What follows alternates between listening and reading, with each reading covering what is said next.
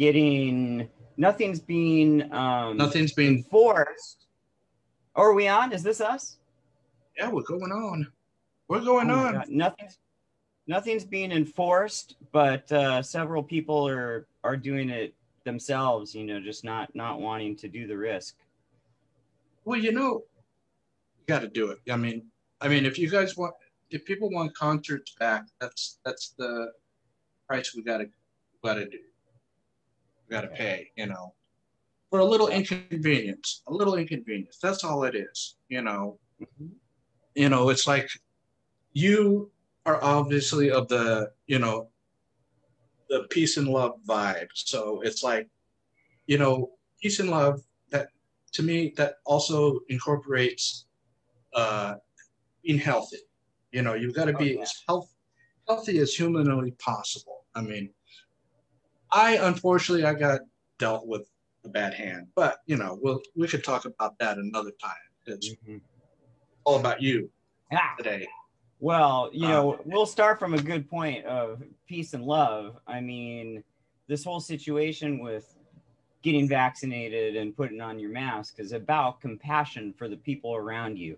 You know, so many of the anti vaxxers are talking about um, living in fear, but it's not. It's so I can go oh. out and live peacefully with you, Yes. my friends that I care about. And I know I'm not giving you anything. It's as much from my point of view, too. I know I'm not getting you sick or the people you love sick.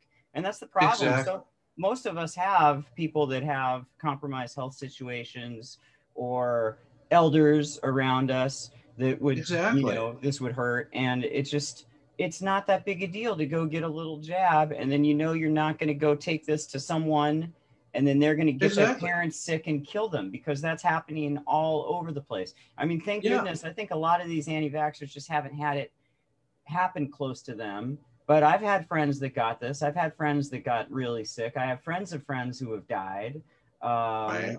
you know, I don't want this to happen. And plus, you know, like we were just saying here in Los Angeles, a lot of venues and a lot of musicians are kind of policing their own scene and shutting down their own shows that they fought to get scheduled.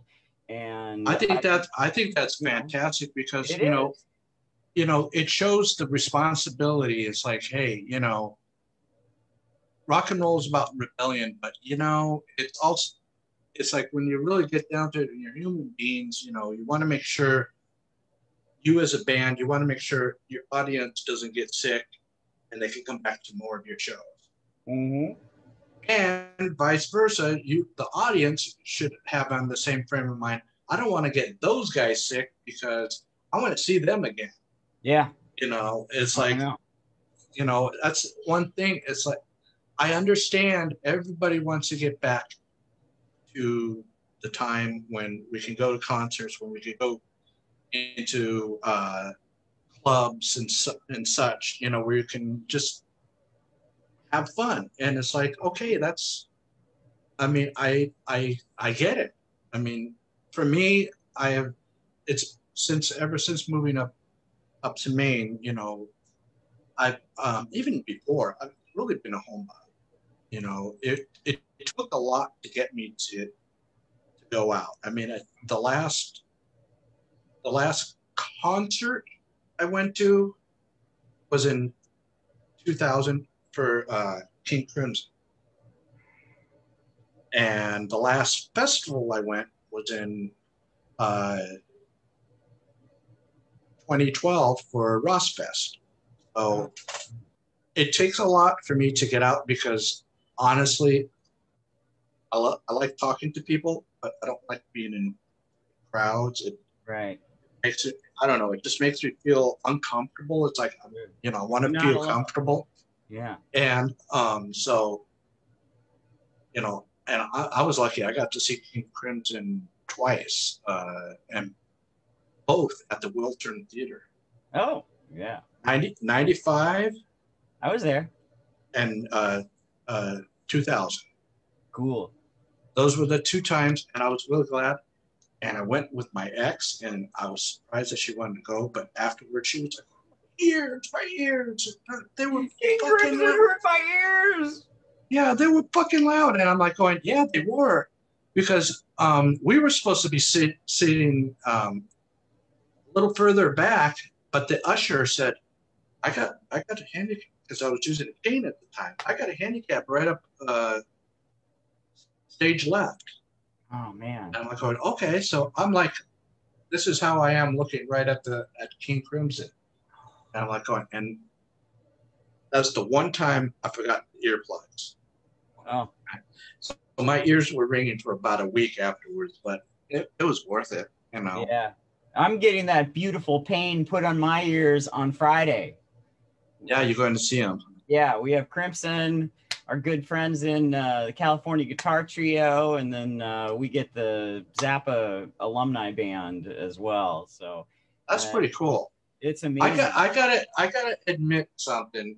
Um, it's okay. Two bands, two bands that uh, you're into that I never got into, and uh, one one I one I tried and one I haven't tried yet, but I've heard some. I'm one I tried is Grateful Dead. That's the one I tried because I, I when I was working in the record shop, the manager would play everything under the sun. I mean everything anyway from classical, jazz, hard rock, punk, uh, anything in between. I mean, this guy, I mean, you did not know from day to day what he was going to put into the CD player, you know, for the rotation. Never knew.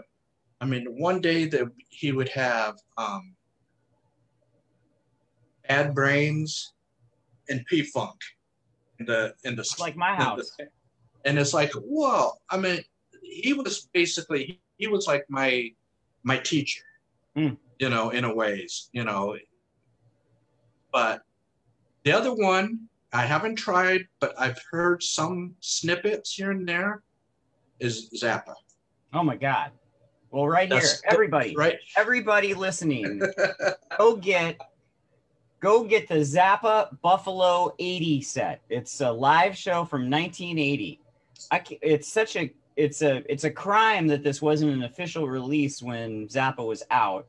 Uh, right. But thanks to Joe Travers and the Zappa family trust and the whole thing and their record, they posthumously released it.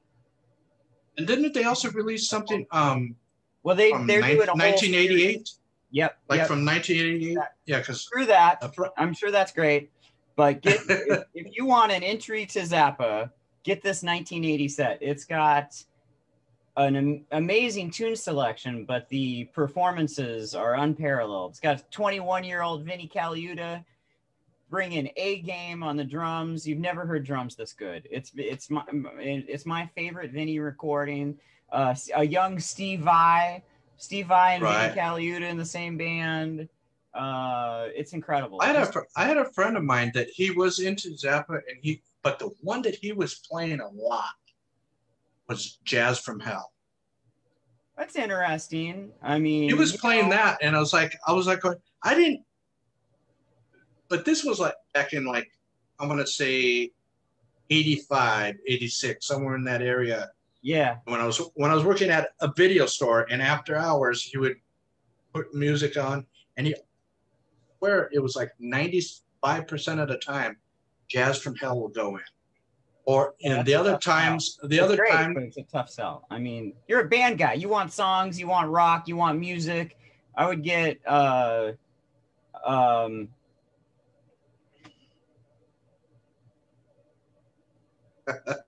Oh my god! I've okay, got so I've gotten those.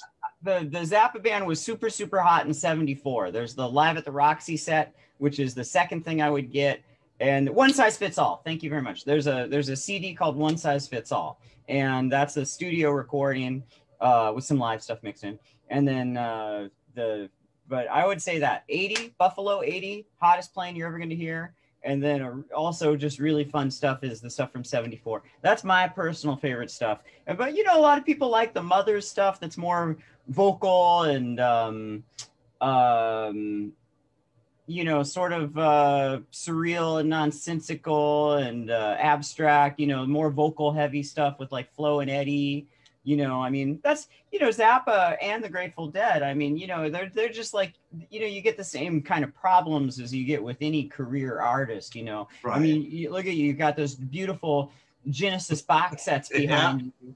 Uh, you know, it's like if someone says, "Hey, Ron, you should really check out Genesis," and you go pull out, um, "I can't dance." What's this? This is crap. You know, why would anybody like this? You know, so Right. it's just like you know, you got to go. Like, oh, Peter Gabriel used to be in this band. You know, it's the same Oh, stuff. yeah. You know, you gotta, you gotta, you just gotta poke around. One of the other things I got about a year or so ago is the that Bruford box. Oh, what's in that? Uh, it's got his studio albums and some unreleased stuff and some live stuff and Ooh. Pretty it's pretty it's pretty good. I mean it was the first i mean I, knew of him from with the yes and then king crimson and then uk you know i knew of that. Uh, but i never really delved into his solo stuff until i saw a really good a really good deal on that. I think i, I think i got that for $50 and normally it's like double that. And probably now it's triple. You know, I think, you know, that's the one thing I hate about these beautiful box sets. They come out, they go out of print, and then you see outlandish prices on eBay or even even Discogs. You know, the people are trying to, to capitalize on on the name and the fact that it's no longer in print. Oh, and it's no. like, you know, it's like, you know, I'm sorry, those are greedy motherfuckers. You know, I'm gonna say it right there. hey, how about tickets? Jesus Christ! You, you know, it's like Oh. I I had one CD that you know I needed to um, I needed money at the time, and this was back in 2005, 2006. I needed some money, and I really hated getting rid of it, but I got the thing back again. But I put it uh, the first Änglagård CD, you know, oh, and I put it up because a friend of mine told me, good trick. He says, put it 99 cents, figure out the, the shipping on uh, doing the auction thing. Well, I did that. That sold for 90 bucks. That thing sold for 90 fucking dollars. And I'm like going, are you serious, man? You know, okay. I don't feel bad because I started at 99 cents. You guys drove up the price. And I think that's what people are basing things on is how certain items drive up the price. And it's like, you just you know, talked me into selling my copy of that. Just kidding. you know, you there's some stuff that, you know, I I regretted selling because you see how I have two of these? yeah. At one time there was a third one. Oh, I bet. Uh, going back to t- uh, 2008. But you know, it's like some of the stuff. You know, like if there's a CD from a band uh, and then it gets reissued, and I listen to what other people say, and if they if a consensus said it, the reissue sounds better, I go sell the CD I got and I get the reissue. I'm not the kind of person that has the the money to have 20 copies of whatever you know i can i i need to have for me i want to keep the best but i am so behind on all the steven wilson things like when he did king crimson and yes you know i mean i never i didn't even know know he did yes i got Guess, two guess what? The music hasn't changed. It's still great. Don't and I got- you don't need to get any of those. and I got you know I got the couple because I never owned a couple the albums. Uh, got A couple what albums? XTC. Oh, XTC. Yeah, yeah, yeah. Yeah, I got a couple of those. It, you know, those were um, his mix, but it was like they were twenty bucks. I mean, I can handle that. Yeah. Once they start going in, you know, up into the forties and fifties and sixties, and it's like, you know, how how many, you know, like, I mean, Crimson is is guilty of this. You know, when they did like their album, their seventies. You know, actually, they're, all their albums they so far up into the seventies, they've done these massive box sets where there's twenty something discs. I'm like, going, you know, I understand the bands. You guys need to make money because you know you weren't you weren't a top forty. I understand it, but you know, stop fans. Yeah, it's a burn. I mean, it's like give the fans your definitive version of the album and keep it at that. Mm. Next thing is is did you film it? Okay, if you filmed it, put that out on a, you know now Blu-ray. Put that out on Blu-ray. Now people can see. Okay, we've heard it, the live CD. Now, you know, let's see the live video. And I think, you know, there's so many of those. Uh, I I personally I prefer a live video over a live CD because I want to I want to visualize how the band is doing things. You know, I don't want to kind of guess, Right. but you know, I understand. You know, they need to make money. They're not Yeah. they're not a hit hit maker. They never wanted to be a hit maker.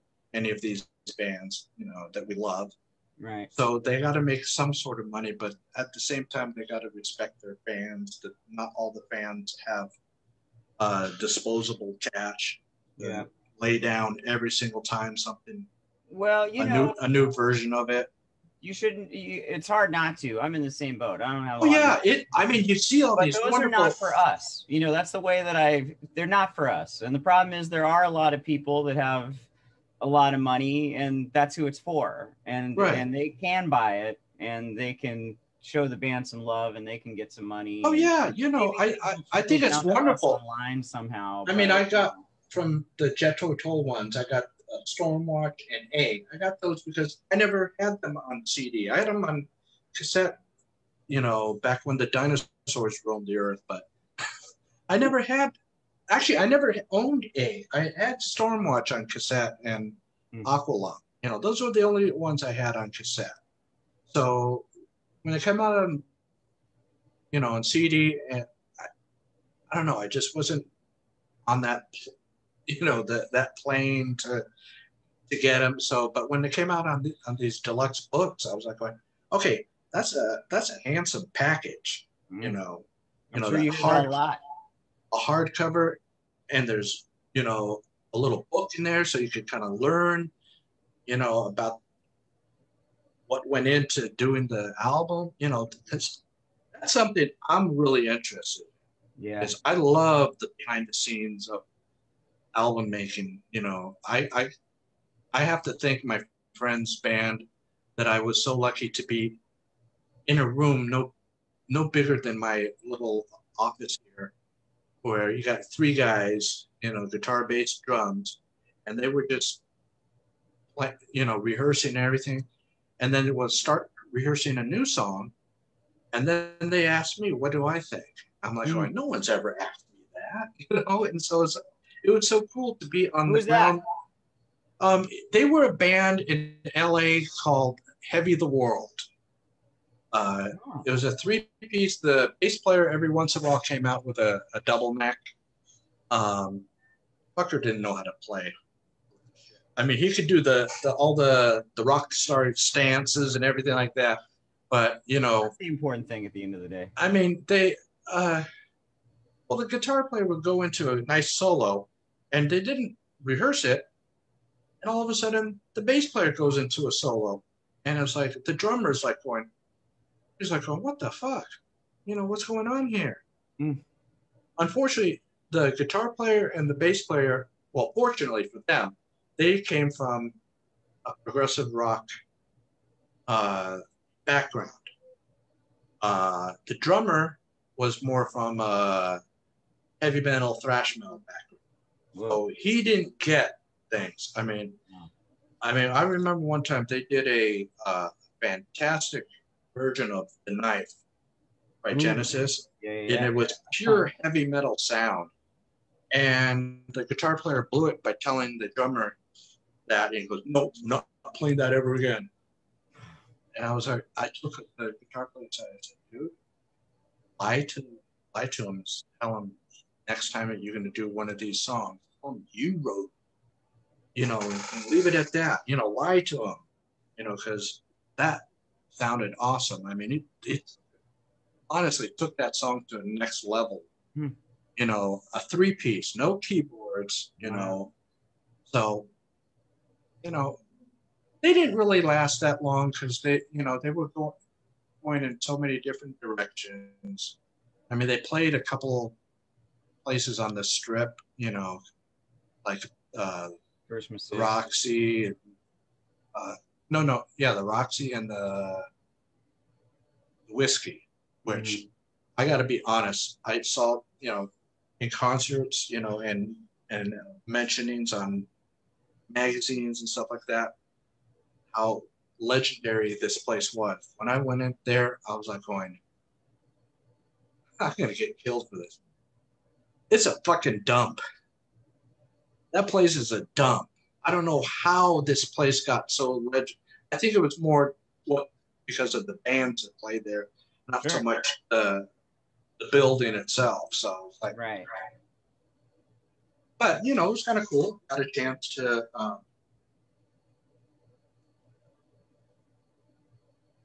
your, your friend Chet. Don't tell that to Kate Bush. She won't release a Blu-ray before on. Yeah. That, oh. Oh. yeah, let's dive in. A lot of I would love it. I would love to see some live footage of those uh, last shows she did, those British shows. Oh yeah, that what was that? Six nights, seven nights, or something like that. She did. Yeah. At the Hammersmith. Yeah. My goodness. I you know so what's this? I I Where seen. are you getting comments? Oh, oh, um, there they are. Oh, there I see. they are. Yeah. Okay. Let me turn the Yeah. volume off here. yeah. Okay. Um. So I I heard the two songs you sent me for the Astral Arc, and I, Astral Arc, we're coming at you. I mean that sounds pretty damn good. You know, Thanks. it's um. Hi, it's Scott. like. So what's uh. And I know you said you're you're in the. What is it in the place and time where you're going to be getting new backup sing backup your band, you know. Uh, you know, we're we're in a we're we're uh, we're just we're just uh, Influx. we started getting we started getting out there and um, uh, things are so crazy post COVID that um, here in Los Angeles, all the established bands just snagged up every available good slot at every good club for months. Right. So you know we we missed. You know we were a little late getting on the train, unfortunately, and because we're just a brand new startup. Right. And um, by the time I we got our our music together, those recordings I sent you, that was late Aug- late um, late June. Uh, everything's booked up until September, and uh, then in Los Angeles, uh, all the national touring acts are getting up and running, and they're going to be hitting LA in September and October for the most part. And Right. October is the craziest month I've ever seen in my entire life. Like basically anybody who ever put out a record in history is coming and playing in Los Angeles by October. You know, it's it's nuts. So um, I don't even want to book any gigs because even if even if there were, I mean, a I want to go to shows every weekend in October. B if if we got a gig and played, nobody would come to it because they're going to be out seeing another band. Right. So, and I I feel like that's kind of par for the course for the rest of the year. So um, I think Astral Arc is, you know, I'm going to press along with it through the end of the year. But I think uh, a lot of the, you know, I, I I had a lot of big plans, you know, in April and May for the band, and Right. um, uh, I think those are you know like we we I actually thought we would be up and touring uh, full time Right. uh, by July, and uh, that just became an impossibility. So I think I think things are looking like I'll I'll be doing that more in in 2022. But Right. um, you know I'm I'm still I would like us I would like to see those songs find some kind of life you know maybe out on college radio throughout the country. So i'm i'm busy trying to contact radio stations through the country right now. Um Well, it it it sounds perfect for that kind of you know I guess that marketplace, you know, and I mean, I like how they're, you know, they got a lot, a lot of things going, but in a, in a short, short time, you know, I think what it, yeah, don't I want to say the chorus. You know, it's like, but it's like, sometimes you know, sometimes I love those kind of songs. You know, that where it's like it's right to the point, but then there's sometimes you know I like those long, stretched out. You oh, know. Oh yeah. Well, to me, you know, so it's like, I I think it's it sounds better. It's really coming from the heart. It goes beyond like four or five minutes. Mm-hmm. You know, because if you if you if you force it, you know, I think the audience can tell. Yeah. They say, oh, you know, you're doing it. That's a five minute song on the album. You stretch it out to 30. It's like, why? You know, sometimes I mean, it works. I mean, you know, that, that, I mean, in a way, I feel like that is a good thing because I feel like the songs are vehicles, you know, and right. there's, there's how you record it. And that's a statement, and you're saying one thing and you're getting one thing done with that. But then when you take it into a live scenario, you can play with it and modulate it. For instance, um, you know, Arrows in the Air, which is the one song I sent you, is like a two minute recording and it's right, you know, pretty quick in and out on the recording. But when we've played it live, you know, the first time that we played it, we did stretch that out to 15 minutes, 10 minutes, I think. You know, we did right. a big space jam, and then that space jam went into counting out time, I think. Or no, maybe we did Loose Lucy. I don't know. We we did we did some big jam and then went into it. And that was really effective. I like that. I like I like letting the songs breathe after they're written and not really forcing them. Um, and uh, Kaleidoscope Collector actually is a really fun launching point too because on the record you know we get into this flurry at the end and then it and then it, the song stops. But live we just keep that going and it's a giant funk jam and and oh, yeah. I, so I really it's fun. Yeah but it's to me it, it sounds like um it's a natural thing for you to do it. Yeah. Um and also too i i i also agree about you know you got your studio thing now at the time that it was done it's now it now it's immortal in a way mm-hmm. it's right there right. that's how you how you recorded it mm-hmm. but maybe six months or seven months down the line you're going god i should have put something else in there oh, that's where you can that's where you can do it live where you can yeah. go okay you know like the studio I forgot, you know, you don't say that to the audience. I forgot something. You know, you tell to your bandmates, that, hey, we should have done something right here, right in the middle, you know, yeah. or right at the end, you know, and then that's when you that's when you go for it, you know. Yeah. But when you're when you I think when you force it, it doesn't sound good when it's forced. You know, no, you want you, you want you it gotta let flow. you gotta let the song tell you what to do. Exactly. And um that's you know those two songs right there you know i it's it's almost like it's early 70s stuff but now you know it's like it's well, you know. that's my deal. And and I, I like that. I like that when we can go back. I mean i think a lot of bands are looking back because right now I, I don't like to diss but pop music as it's going now is basically punch here, punch there, punch there, and then sing and then tweak it, and then it's out as a hit. Yep. There's, I mean, it's almost like all, all you need is, uh, okay, if I do that behind the scenes, we got to go find someone, you know, like a GQ model to go out there and sing it. Yeah. You know, so we, have, you know, you know, and it's like, I'm going, you know, I want to hear music as it was intended, made with, made by musicians, not yeah. by people behind the console. You know, yeah. not kids doing their hip hoppy with their blip bloop boxes. I mean, I, I'll tell you one thing. Years ago, I mean, I, I never got into hip hop or rap, but when what's his name, you remember when they used to do those unplugged sessions on MTV? You know, Mhm. you know I'm going to MTV because this is the anniversary.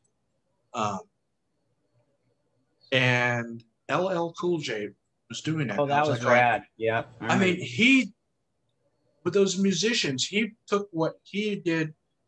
It's basically studio manipulations, you know, and sampling, and he got this band to back him up, and it's like it's hard. Yeah. And I'm like going, why can't people do, you know, now? Why can't they do it? Why are we relying on, uh,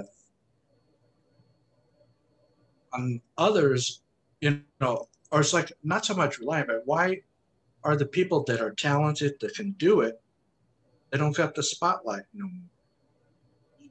I mean, if you were up in 1971 doing this stuff, the spotlight would be on you right now, you know. But they don't care because you know you're, you know you're, how did they say you're playing dinosaur rock. Oh. And- I don't but it. but but you're not. You know, mm-hmm. you're taking you're taking what happened and you're bringing it up. You know, because a lot of the equipment that you're using now they didn't have back then, so you can you can do things Yeah. and still sound pure. Yeah. And that's you know that's what I love about you know the kind of music you do and uh, and our friend Matt. You know, and and then all the other Maroon. all this, you know, then you know, King Crimson, uh, and ba- you know, bands that are staying true to creating music. Who cares if what they call it? They're saying, Yeah. they're playing real music, you Mhm. know. Well, none of it's planned or thought out. I mean, it's just uh, I've. It's been very. There have been very few occasions in in my history where Joel Martin's musical tastes have matched up to what was happening as it was happening. You know, like out of the womb. You know, my favorite stuff. I was born in '72. By the time I was ten, most of what I loved you know, was the Beatles or, you know, y- you know, even by the time I was 10 in 1982, Led Zeppelin had already broken up. And I would say by the time I was 10, my favorite stuff was Led Zeppelin and the Beatles and stuff like that. Deep Purple in the 70s, Black Sabbath in the 70s, The Doors, you know, Right. by, by the time I was in my early, and then when I got into prog, you know, at 14 and 15 and 86 and 87, my favorite stuff was Yes in the 70s, King Crimson in the 70s, uh, Genesis in the 70s. You know, like I was always a decade or two decades behind what, you know, what was happening, you know, and so, and that just became an exponential situation. I mean, you know, every, every six months or every year or so, I'll say, hey, maybe you should go look at the top 10 and see what's going on. And like, I'll look at it and it's just not even, sorry, everybody likes what they like. I don't, I don't, I, it's not even music, you know, I can't even understand what most of it is like. And, you know, it's weird to say, but I, I would put, if anybody is watching this and likes the music that we like, go look at the top 10 and go play it, you know, bring it up on a YouTube thing and ask yourself if you can even handle listening to any of it for more than a second. I mean, every once in a while, someone has a fun, you know, like all the single ladies, all the single, hey, that, that's great to play every once in a while for a fun thing. But who's going to go sit down and like, oh man, I'm so excited to go listening to uh, the new Katy Perry. I've never said that once. Uh, Right. you know, But and that- um, But that music, that music is back. That music is just background. Yeah, You I know, really it- like in fact Miley Cyrus. I think she's a you know a real interesting gal, but I'm not probably not going to go sit down and listen to something that she does. You know, Right. quality listening time. Uh, so you know, no one's ever done it better than the Beatles. Period. End of story. And then people have done it different, and there's prog rock, and there's all of that stuff. You know, Right. for me, and again, my taste.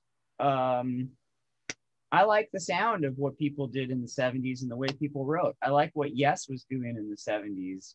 I don't like the sound of modern progressive rock. You know, there's a lot of bands doing whatever they're doing now. it's not textures that I really enjoy. You know, like when people bring in like metal guitars or in progressive metal, I don't really enjoy. I like symphonic progressive rock. And people that are doing it now, it's interesting because there's bands like Anekdoten who I just love to the moon and they keep that spirit and they do it. Oh yeah, they keep they keep it alive. You know, yeah. and there's and there's a few there's they're a not few, the biggest thing in the world, you know. I, I get what you're saying because there's a lot of the prog bands that you know while they sound technically fantastic, they go by. I keep on hearing this thing, prog by numbers. Yeah. You know, and it's like, oh, here we got to do this part. You know, we're or or the thing that I've been tell. One thing I've been saying is like, you know, oh, if you don't have a 20 minute song, you lose your prog credentials. You know, it's like, yeah. no, it's like they, it's like they they're taking what came before them and they're just kind of making up new rules about it and it's like it's got to come out of you naturally mm-hmm. it's got it's got you know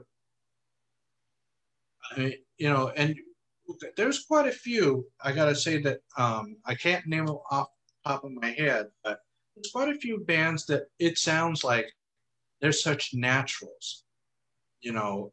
And um, there's one that uh, when I was still living in LA, uh, they were these kids were like in high school, like juniors and senior, no, sophomore and juniors. So the father of the keyboard player, he had to sign permissions for them to go play in little clubs. Who is this? This is a band called The Source. They sounded like the 70s, all natural. And um, they're no longer together. They did, they did, uh, the keyboardist did something a little different. Uh, and then I think he's just concentrating on, on life and school and stuff like that. But well, how old is he now? He's probably in college age, 20, 122, something like that. I mean, what's his name? Oh, you know, I can't remember. I'm always looking for a good keyboardist. Um, I don't know. I, I I've spoken with his with his dad a couple times.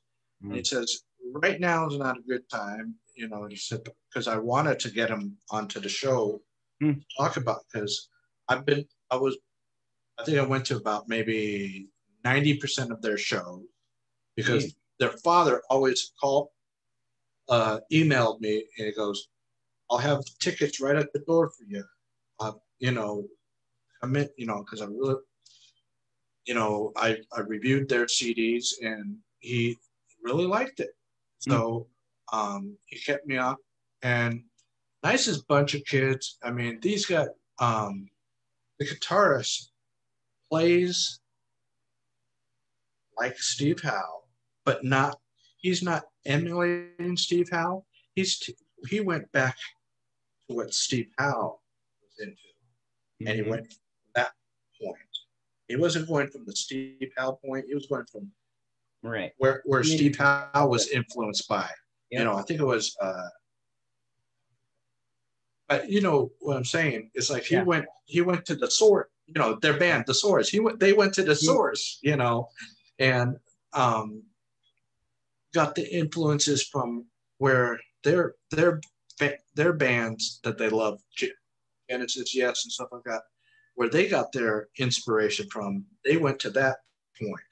Hmm. And to me, for 16, 17 year old kids to do that, I was just so blown away. And then um, to hear what they did and then to hear them play live wow. was like, I mean, they would have fit perfectly in 1972. Neat. Perfectly. I mean, they they would have been right there with those peer those uh, the peers of that time. Mm. It just they just had that sound, and they were an LA band. You know, was so cool. It's like so.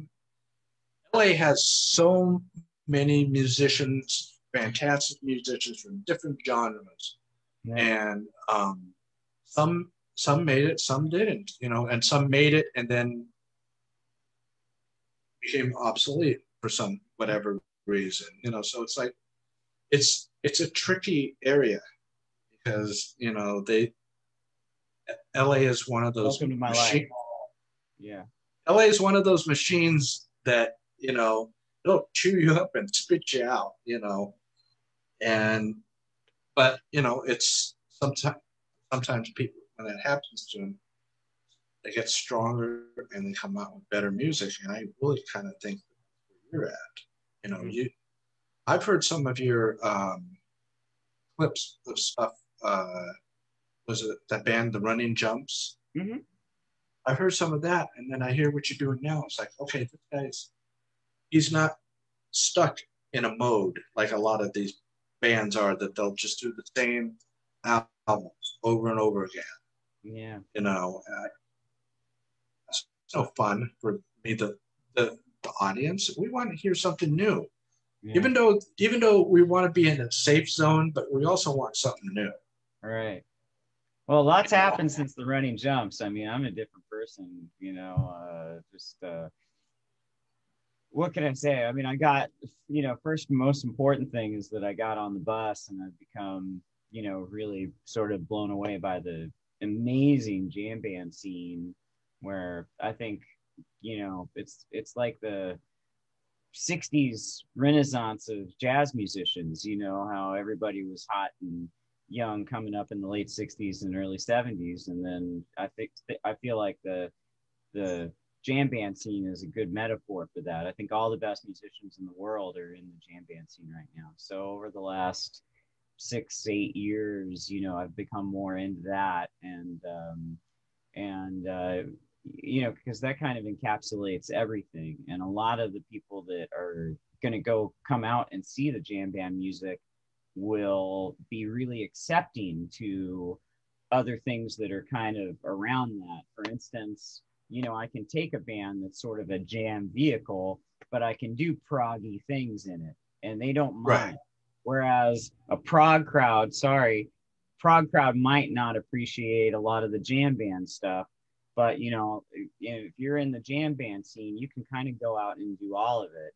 And so, you know, there's stuff that I can't get rid of that's just in my DNA, which is I really like jangly 60s sounding music, you know. Right. Um, and so that comes out whether I want it to or not. And then um, you know, the the the new thing just seems like it's built to play, you know, Astral Arc just seems like it's built to go around and play. You know, we we want to play multiple sets. We want to play all night. We want to take the listener on a real trip and uh, and do stuff. Uh, so you know, it's you know, there's a sense with Astral Arc that it can do anything, you know, period. Um, you know, it, it who knows what it's going to be in five years? It could be a ten people band. You know, whatever. Right. Whatever my budget is at the time is going to dictate it what it is. Whereas the running jumps, I literally had a vision telling me to work with the three other people that were in the band and I invited them and they agreed. I had a I had a, I had a I had a dream that said, "Oh, my new band is the Running Jumps." Right. And it was these three people in it. And I asked them and they wanted to be in it. So the Running Jumps were that band you know Right. it was it was my great buddy dave johnstone uh, who i still play with all the time during the pandemic i started releasing singles every month yeah, I Um, remember that. yeah and uh, dave is on quite a bunch of those and then um, you know uh, I'll, I'll come back to another point with dave but i also i do a lot of live streaming and dave has been my only guest that i've had up here in my space pod which has been really special for me um, but uh, then also sid jordan who's one of my favorite bass players in the world um, you know, played bass and, and my great, he was in a wonderful band in LA called Mini Bar and then did a lot of session work and producing. And then my friend Todd McDermott played keyboards and guitar, and he's just an incredible musician and great singer too. And um, so that's what that was. It was very much like I needed to work with those three people at that moment. And I was the band leader, and we were playing my songs. You know, it was my gig but you know that was the band and when you know it didn't make sense anymore to have us all playing together that band went away you know so it's just it's just like when you know unfortunately when some of your favorite bands when a band member dies you know like led zeppelin's not going to play after john bonham's gone. Right. You know, when that band when when that band was not going to be those three people it was like okay well that's the end of that band. I i don't i don't need to carry on the running jumps. Whereas astral arc i really feel like astral arc is going to be where i'm at another you know however long i get to be here on the planet i'll probably be putting out astral arc records you know So- Astral, you know, it, the way you just said that, it's like the running jump seems to have been a fixed point, whereas Astral Arc can, has a flow. It can do, it can do more because you're not saying I am a specific style. You know, Yeah. I'm, you know, it's you're fluid in it. You know, you're gonna, and that's that's what I noticed for me as a listener. As I'm growing older, I'm more into different styles of music than I was, say, when I was 25. When I was 25, I was only in, into one style of music at a time. I mean, from 25 to about 31, 30, I was uh, I was into a certain style of music, i've gone the other way and then that was uh, you know like my my brief histories. Up until 1980 it was whatever my parents were playing on the radio on the on the car radio. I didn't i didn't care. It didn't it wasn't what was that like tiny tim and uh helen no no it's more like top 40 stuff. They they would listen to top 40 my dad would listen to the the jazz standards you know Hmm. you know, Sinatra and stuff like that. You know, you'd listen to those.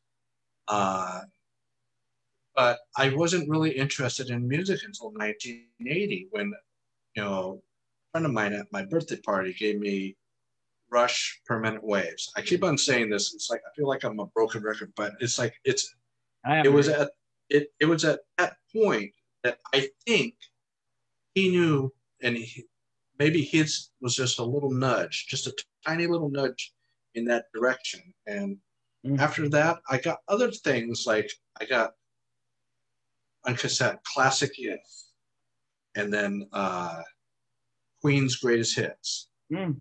Then I got the first ELP album, which I want to say, and and probably others probably won't agree. That a lot of that was heavy metal. what A lot of that, just a lot of that was heavy metal. oh oh Just yeah, the yeah yeah just just the way, especially the Barbarian. oh my god Holy Yeah. crap! I mean, but dirge rock the birth of the desert scene right there I mean, to me, it was like, oh my god! So that was '82 ish, and uh, because now we're on the anniversary of MTV, my first, um, out of the, you know, how you say the usual suspects that were played on classic rock, you know, KLOS, you know, Mm. KMET back in the day, you know, those those stations. But the, you know, they also played the same kind of stuff. You know, you knew, okay, yes, uh, got some ELP. They played uh, Kansas. You know, bands like that. So you knew, those were the usual suspects. So 1985 on MTV when they played Kayleigh from Marillion. I mean, that's when I Oh. started to to jump right into that scene. But but I got I got um, detoured by a friend of mine for thrash metals. For the next four years, I was into thrash metal exclusively. I got rid of anything that wasn't thrash in my, my collection, so I was just exclusively that. I didn't look it. I didn't look like I was a metalhead. I mean, I had short hair, shorter than this, and um, so I didn't look it. But I was heavily into it. I was buying anything that was related to thrash metal, and um, then in '92, when I was working at a record store, that's when I got back into prog because of that manager I was telling you about. Mm. And then then the first uh, Prog Fest in '93 at uh, at UCLA, the Roy, Oh. Royce Hall. I was there. I'm like, well, from that point on, I went off the deep end. I, that basically from '93, I went off the deep end, uh, or as people say, down that rabbit hole, and I'm keep I'm still going down that.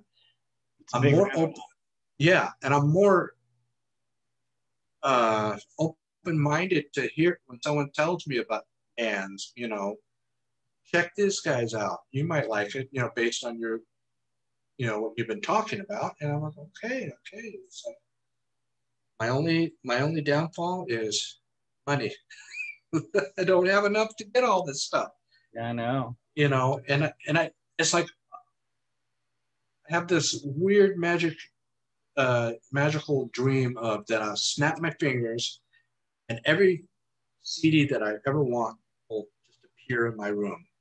I mean, I won't be able to get into the room, but it's like I'll probably have tens of thousands of these things, you know. It's like It's There's just so- Soulseek, but don't tell anybody. I mean, I I just I go and listen to what people recommend, and I make up my mind: is that something that I need right now? And you know, whatever I need right now, I go and I get. Um, my latest thing that I delved into was uh, weather report, Yeah, yeah. yeah. and Did um, you get that Jaco record? not yet. I'm still I think that blow, I'm, I think that blows away all the weather report stuff. It's it's it's uh I'm not gonna diss weather report. Uh, they're great. They're geniuses. But uh the Jaco is like a pure musical experience. I love it. It's inside and out, just incredible. Yeah, I got uh, the other one that I got, but I've had this for years, based on you know that that manager, um, Mahavishnu Orchestra. I have a few of theirs, and I'm like, oh, go you wrong know, with the first two. he he he he turned me on to that because again, you know, John McLaughlin's guitar sound it it wasn't your that typical guitar sound that went with that stuff, you know, the jazzy music, you know. I mean, I think I recall seeing in magazines they were calling him, and I, now forgive me if I got this wrong, Jimi Hendrix of jazz guitar That's fair. You know, and uh, so it's like I always kept that in mind when I'm listening to him. I'm like, "Right, this is not a jazz guitarist. This is a jazz guitarist through rock music, you know. And Have it's you like, heard- I got a record for you. Tony Williams Lifetime uh uh is I think it's Turn It On. It's his it's the second Lifetime record. Have you ever heard that? No, I, you know, I had a friend of mine when I was in. It's better In than the- all the Mahavishnu, all the all the Lifetime like this. Now, oh, um, there there is a preface with this record. Uh, it's there's two different things that happen on this record. One is the most mind. I think it's like from 70 or 71. Like it's it's it's really early in terms of fusion. It's John McLaughlin playing like he's Tony Iommi, like it's Oh. straight distorted fuzz guitar with Tony Williams. I'll tell you, there's one song on it that if you started at the beginning, you wouldn't be able to tell that it wasn't off of Piper at the Gates of Dawn. Oh wow! Yeah, it's that much of a mind bender. Um, but it's the core band is Tony, John McLaughlin, and Larry Young, the organist. So it's a trio for some of it. And then there's a, I think at the time he was totally uncredited. I could be wrong about that, but um, it's come out more that um, Jack Bruce is heavily on it as well Oh wow! and he sings at the end. He actually sings on one song that became a Mahavishnu orchestra song that John took to Mahavishnu, and then um, so there's there's there's six or seven songs that are the most incredible music you're ever going to hear, and then because it's Tony Tony's psychedelic record, there's about six or seven little thought piece spoken wordy poems, which, you know, I'm sorry. People might love that. And I love Tony, and Tony's incredible and blah, blah, blah. but it's uh, for me it's unlistenable. Like there's so there's like six little unspoken word things that I just I have to move forward on. I can't even listen to them. But the Right. music parts are the absolute most amazing, I would say, marriage of rock and jazz. Turn it on, Tony Williams, Lifetime, incredible. Yeah, I, I, had, I had a friend of mine. Now, I'm just recalling at the time while I was working at the record store, uh, actually, even before, uh, it was another band out of my, my hometown, uh, Glendale, California. Mhm. And it was these two brothers. One was played bass and once in a while played guitar. And his younger brother played drums. And in his room, what he basically did, they had a he had a big walk-in closet. He put his bed in there so that his rest of his bedroom will be filled with his drums. And he had a setup. Um, you know how keyboardists like to surround themselves with the keyboards? Mhm. He was surrounding himself. He had his acoustic drum set in front and his electronic drum set in the back. So he can spin around, you know, and go back and forth. between that. This kid was, um, at that time, it was, I think he was still in high school. And this guy was playing like a, a, a seasoned uh, musician. I mean, he was heavily into prog and the jazz fusion scene. I mean, his, I mean, one of his favorite drummers was, was Bruford. Mhm. Uh, then the other one, um, what was it? Jazz drummer. It wasn't Tony Williams. It was another big, kind of a big one uh, at that time. Um, but that's what he was into, and it was just so amazing. I mean, that that, that there's times you find young people that that magic comes into them, and you know, and I think that's so amazing. I think that's so amazing that that a young person, you know, every once in a while you see a young person that. Uh, uh, I saw one on YouTube. Well, I don't remember. Let's not forget Tony Williams was 17 when he started playing with Miles Davis. Oh yeah, so it's like there's that. He redefined the vocabulary for jazz drummers. He was 17. Not just played, not just got hired, redefined the vocabulary of jazz drumming at 17 and 18 before create helping create jazz fusion. I mean, when he was in his early 20s, then you know, it's like uh, pretty good. Oh yeah, it's it's it's amazing that uh, just how some of that that people's DNA from such a young age that they're able to you know create such amazing music. Yeah. and so you know it's there's like i said there's so much out there you know to get um and but it's, it's so nice to hear when uh musicians start talking about what they what they're into especially nowadays you know.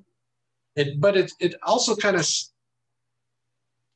sometimes you get almost it seems like a scripted you know it's like if you're a keyboardist oh yes i like i like uh, tony banks rick wakeman uh, keith emerson you know it seems to be those those three names that right off any keyboardist you ask does what they'll say Well, but it's like good. so I mean they're good, you know, but it's like you got to have something else, you know, other keyboardists that you know that may not have been And prog, there? but Just kidding. Yeah, but you know, there's there's a lot out there. I mean, there's some newer ones, uh, you know, ones that, but it just just seems like some of the answers, you know, I was giving that as an example. Some of the answers seem to be too scripted, and you you know, obviously, okay, the keyboards, okay, he, he likes those three, you know, it's obvious. But it's nice to hear when they, you know, kind of get step out of that, you know, the obvious and get some you know, surprises of different kind of keyboards, you know. Mm. You know, so it's like it's, it goes with drummers and bass players and guitarists, and singers. That's the one thing with, in prog, and I'm sure you noticed this too, especially in the 90s. There was a majority of those prog bands that everybody either had to sound like Peter Gabriel or Jon Anderson. It's like there was so many of those clones out there. And yeah. I'm like going, oh my God. It's like, sing from your heart. Don't sing because you think you're going to get uh, get not- noticed if you sound, oh, your singer sounds like Jon Anderson. Oh, yeah. You know, well, you know, the, the rest of the band could be crap. that's just how we're, you know, as humans kind of wired in a way. I mean, you know, yeah. it's, it's like, I mean, in a way, if you have a word for a genre, that word only exists because there are copycats. You know, the first right. did whatever you're, you know, I don't. Well, that's the one thing I, I like. This, but I don't. I doubt Bob Mar. You know, did Bob Marley call himself? You know, Bob Marley was doing his thing, and his stuff is so much more advanced than any other reggae artist. Oh yeah. You know? So you know, then you have a whole genre that's basically based around what he was trying to do, while they avoid doing that you know, and that's that's kind of how I feel about a lot of prog is like, yes, we're, you know, Jon Anderson and Chris Squire were into the Beatles. They were into the 60s stuff. And then they started right. writing and they started making more advanced stuff, but they were hippies, you know, it's like, you, you know, uh, it was only us that can change it, only us to rearrange it. You know, they were talking about peace and love. And then, you know, the Beatles, I would say the Beatles were the first prog rock band because they were the first band doing stuff in a symphonic multi you know if you went and you know talked about all the thing you know all the ingredients of a great prog rock band you know symphonic time signatures uh you know virtuoso playing you know in in or or intriguing playing right you know all these things you know or sergeant pepper magical mystery tour and stuff uh the white well, album you know long form songs. You know, that's all stuff that the Beatles did. And so, you know, yes, we're writing in that mode. And then they, you know, really, you know, them and ELP and the nice, I should say the nice really, uh, yeah. created this thing. And all the copycats are then progressive rock. And now you get 30 years removed, 50 years removed from it. And, you know, to me, all the current crop of people that are doing stuff kind of forgot the blueprint. You know, like I wish people right. would back and listen to Yes more. Like I'm really, I have I have almost. Well, that's what, that's what I. That's rock. the one thing that I know about you. Well, that's that's what I know about you is that you are being yourself. You're not trying to emulate anybody. You you're I. I mean, I I might get this wrong, but it's almost like the music is just flowing out of you, and you then you capture it, but you don't you don't sound like anybody, but you you know you can hear your influences. Yeah. You don't you're not trying to emulate anybody. You're being yourself. You're yeah. saying these are my influences, but this is what I'm doing. Right. And that's that's something that you're following the blueprint. You know, you're following it and you're you know, it's like, okay, you know, you're how do you say at the at the ground level of it like you know you're forgetting in a way kind of you're forgetting what came in the 70s you're focusing on the, the late 60s probably early 70s you know right there before you know i just say the, the copycats or the imitators or whatever start coming up um, and i think that the biggest the two uh, eras that uh, the, or decades that you did hear more copycats was the 80s and 90s, mm-hmm. especially the 90s. The 90s were like, oh my God, you can hear 10 bands that sound like Genesis, 10 bands that sound like Yes, 10 bands that sound like Kansas, you know, stuff like that. And it's like they have no um, you know they they got nothing it's almost like they're being a tribute band in a way. Right. Without playing the those bands songs, it's like we're creating a song that sounds like uh, Roundabout, or we're creating a song that sounds like The Barbarian, or creating a song that sounds like, um, you know, uh, Lamb Lies Down on Broadway, you know, stuff like that. You know, you they're they're not doing their own stuff. Yeah. They're doing their like you know, I love how you said it, the blueprint. They're not going by the blueprint. Yeah. Very few. It's as, as each decade goes on from the 70s, it's as if the blueprint is being pushed aside. You know, yeah. it's like just we don't have to go back to the beginning. We're going to go back to the the second level or the third level. You know, and I think that's what they called prog in the 90s. They call it the um, the third era or something like that because it wasn't necessarily neo prog, but it wasn't prog. You know, it's like all these. I think it's crazy. It's like all these terminology, you know, yeah. terms that they give, and it's like I used to fall prey to that, you know, and now it's like I don't. I just like going, okay, if it's good for my ears, I'm gonna listen to it. I don't care, you know you know, it could be rock, it could be jazz, it could be pop, you know, punk, whatever it is. Yeah. If it sounds good, if it if it energizes me enough, you know, and I know it sounds corny, but you know, how there's people that uh, take substances, you know, to get that high. Right there's for me. That's this is what gets me I, I know it sounds corny, but this is the stuff. No. I, yeah. It's almost like um, almost like a contact high. Yeah. I wanted to call it. I mean, I get it off of all this stuff. So whatever these guys are smoking or snorting or whatever, you know, to get their inspirations. I mean, I'm getting that contact high off of them, you know, and it's like, I, I just love it. I mean, hmm. able to, you know, turn off the lights, put on the headphones, lay lay back, and just go to a different world. That's yeah. That's what I love about this music. You know, like the world that's going around behind you.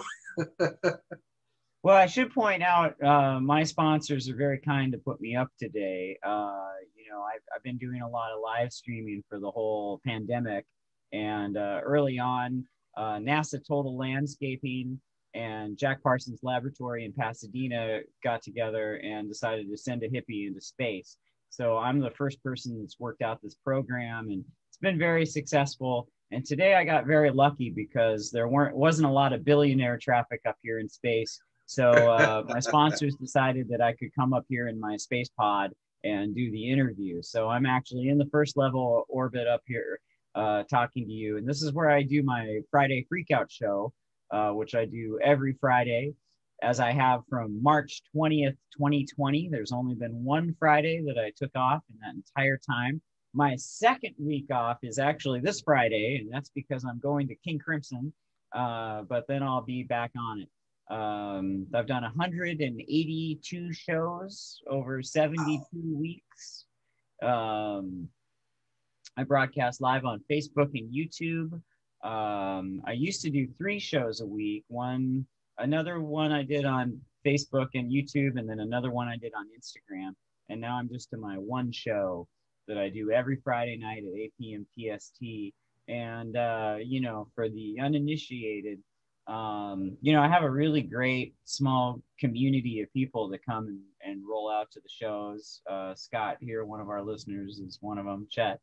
Uh, and uh, but uh, it's a good crew of people to come out. And basically, I learn, you know, because it's so much. And I mean, I literally have had a several of those people have watched probably every show. You know, right. literally been tuning into every show that I've done. So I try to keep things really new and present. So every week I learn five or six new songs. And then I do a lot of space jams and improvisations I have yeah, most, most of the time I, I watch you on my tablet, but mm-hmm. very few times when you're doing your YouTube, on YouTube, I, I watch it on my on my TV. Oh yeah, yeah, yeah, yeah. It's so amazing. I got the I got the headphones on, and it's yeah. It is, I'm really lucky that I've been able to sort of maximize the technology around me uh, and uh, put on, you know, what I feel is a really fun, unique show. I mean, like, oh yeah, you know, a lot of people are live streaming, but I really, I, you know, in all fairness, I don't think anybody's doing what I'm doing. I mean, I've got a. I don't. I don't think so. And yeah. and also, too, you can tell if anybody has not watched your show when you go watch your first one it's like you're transported back to a time. It feels like it's a time before tech, our modern technology. Sometimes and then you're util- technology. Yeah, and you but you're utilizing it. And it's like I'm I'm watching. I don't remember when it was. I was watching how you, you know, you're using a lot of, you know, correct me if I'm wrong. Tr- triggers or you know looping. I'm not using any triggers. I'm or samples. I'm looping live here in the studio. Yeah, okay. So okay, have, that's what it is. So yeah, I have um I have you know since I'm up here in the space pod and I still have all my instruments.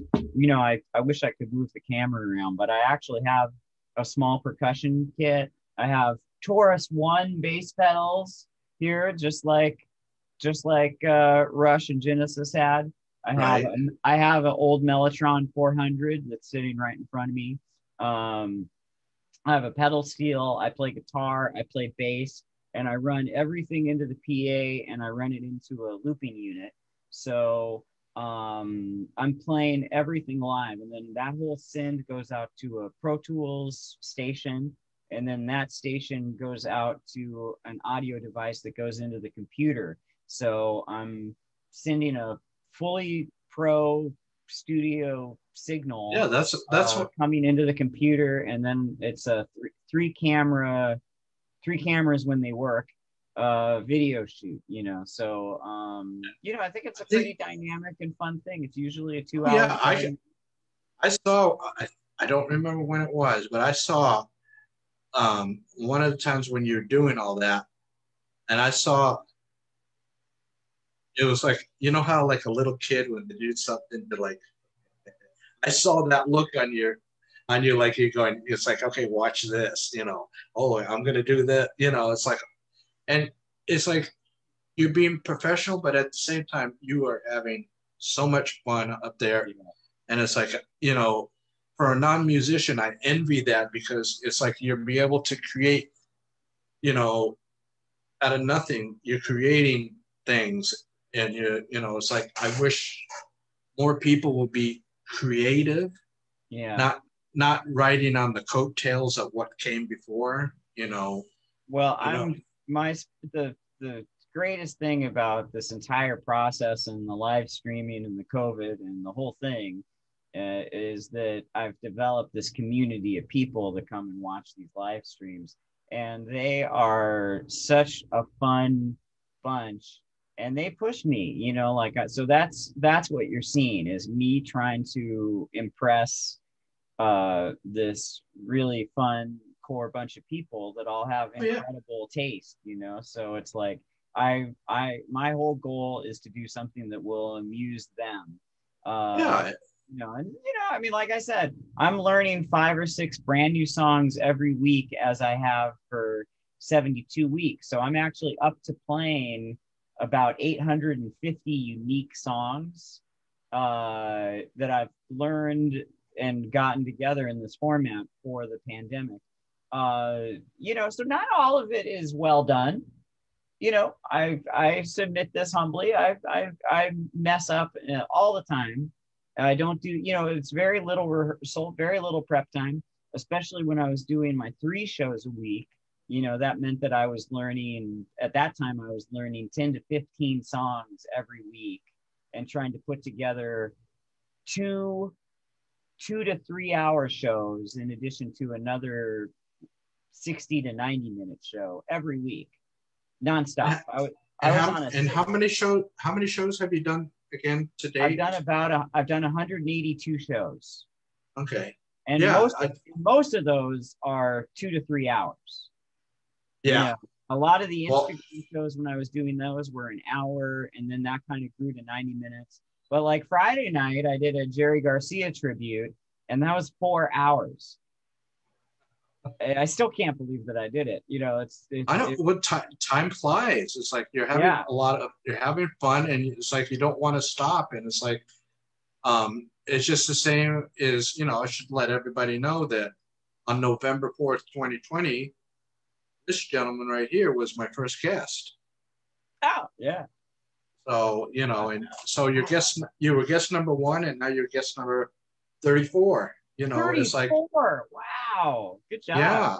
So um, it's I have to owe this doing this show really honestly because of the pandemic. Yeah. Because a majority of everybody that I've had on probably wouldn't have been available to do something like this because they were they would be busy planning their tours and and uh and whatnot. You know, there's some bands that have actually done nothing during the pandemic because Yeah. their members are too far apart from each other Yep. and they p- probably didn't have the their good enough technology to Yeah. Do live streams and things like that. Hopefully, those bands will now be able to, you know, especially since, you know, I, I gotta say, out of any community of people, the prog community uh, seems to be pro health.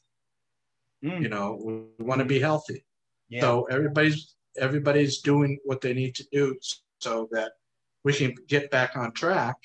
You know, so the the audience can be able to see their bands that they love That's good. on uh not in where right now we're in a selected mode yeah. you know it's it's almost like this is like the test the testing ground to see what is going to basically be for 2022 at least that's that's how i'm getting it. I mean i mean things like what was it? ROSfest could have done something this year but they've been you know responsible in doing it for next year. Hmm uh what was it? ProgStock is they're doing the thing. They're doing it in a select a smaller theater than they did previous years but they're also doing live stream of it. So it's like i honestly think live stream is health wise is the future but also too is if people can't afford to come places like that you know, and they want to see the bands that are being, you know, let's say like ROSfest. We want to see those bands, but you know, a lot of us can't afford to fly in, you know, you know, have a ho- expensive hotel. I mean, the only thing that's not really expensive, you really get down to it, is ticket prices for what you're getting. Yeah. So the next, I think the next best thing is uh, live stream. You know, get, get the people that can't get to you. Now here's a way you can actually see your favorite band. Yeah. You know, but you know, it's like I think we're in the early stages of all of this, and but I I really think that that can be the future. I mean, I, I mean, it'll get to a point that you know now that you, I'm sure you know quite a few musicians that have been vaccinated that you can say, hey, you want to come on? Yeah. You know, and it can you can do like a full band type of situation, you Yeah. know. But you know, you're you're lucky in the location that you live in that there is so many musicians that you can you can Totally. get, and some of them outside of the genre that you're into Oh yeah. and you would you would be surprised at i was surprised um you know the drummer from anthrax at all the different um influences It's the weirdest one i thought when he did that um fleetwood mac song rhiannon or oh, Rhiannon. Yeah. Oh, Rhiannon, when he did when they did that i'm like going what the hell i'm like Charlie's this a is fucking badass. I love him. I actually, I've, And- I've, I've gotten to hang out with him, and um, I went to a show that Anthrax was playing at, and uh, um, I was wearing a Redd Kross shirt, and uh, uh, Charlie freaked when he saw it, and we just talked power pop for an hour. Yeah, I mean, this guy, this guy's a, he goes deep. He's a real cool dude. And and you know, up until these, you know, those lockdown videos that he's done, I never knew he could play guitar or bass or. I or need to watch co- those. I haven't really seen any. I mean, to be honest, my you pan- could, my pandemic experience was seven days a week me putting on my shows. I barely got to Right. Anybody. So oh yeah, you you were you were I- busy, I- you were a busy bee. yeah, I, I kind of I had to I have I only took one week off the entire time, and uh, and that's doing other outside projects too. You know, like I would get I I I, I oddly enough I I tend to make a lot of my living playing pedal steel for people.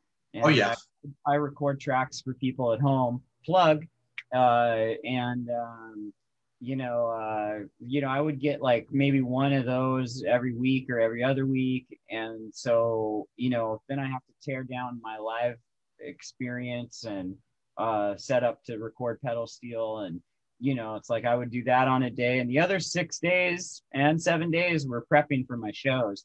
And Oh, even yeah. now that I'm still doing my one show, you know, like I'm doing gigs out in the real world, and who knows if we're going to get to continue that.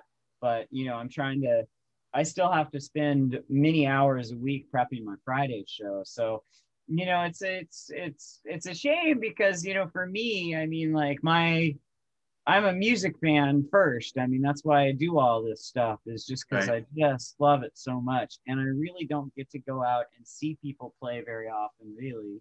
And I don't get to watch the live streams that I want to see because, you know, my first top order of business is doing my show and making it a fun show.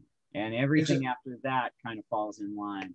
And so, unfortunately, I haven't got to see Charlie's.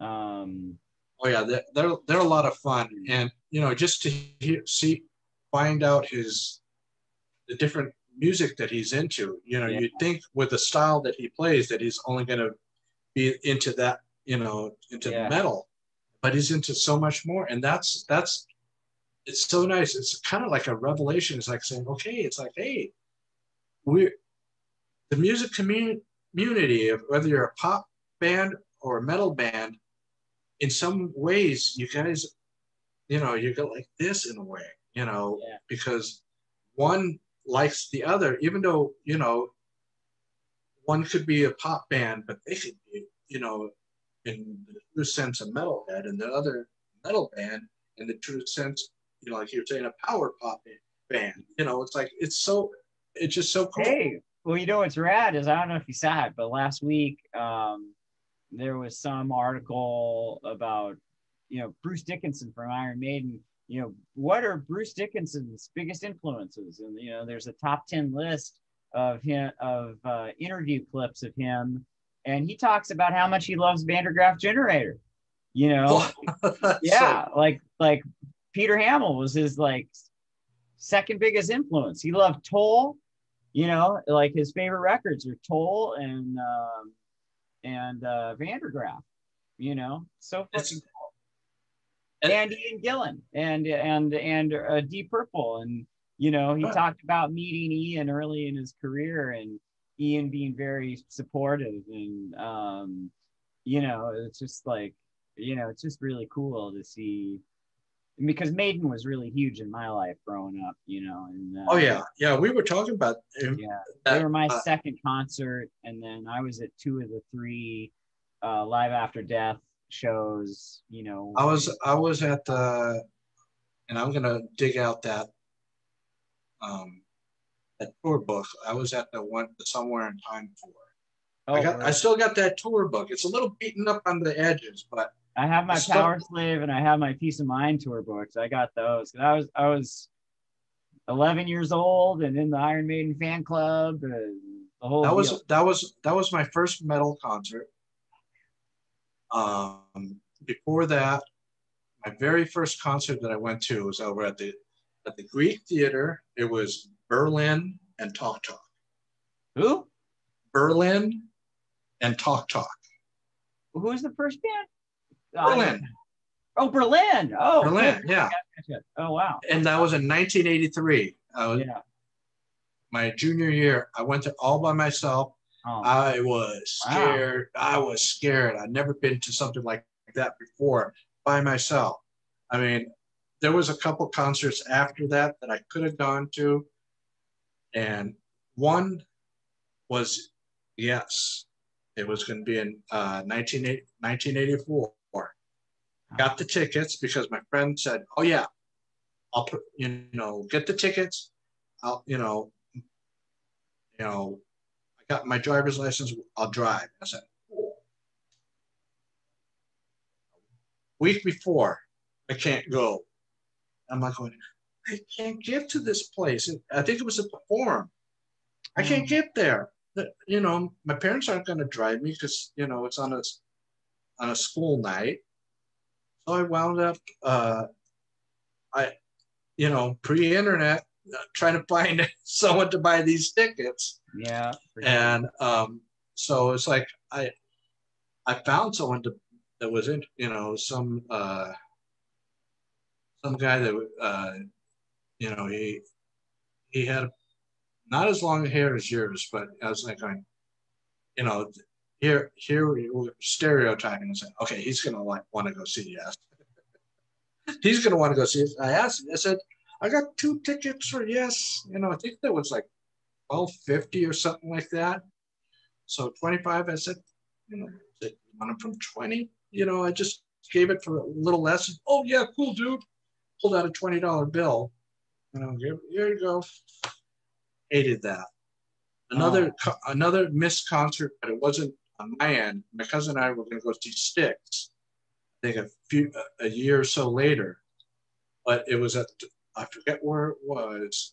It wasn't the Forum Sports Arena, Oh, wow. and I think I think it was there. But at the time, Tommy Shaw broke his arm, so they canceled the show. And they said, "We're not sure when we're going to come back around.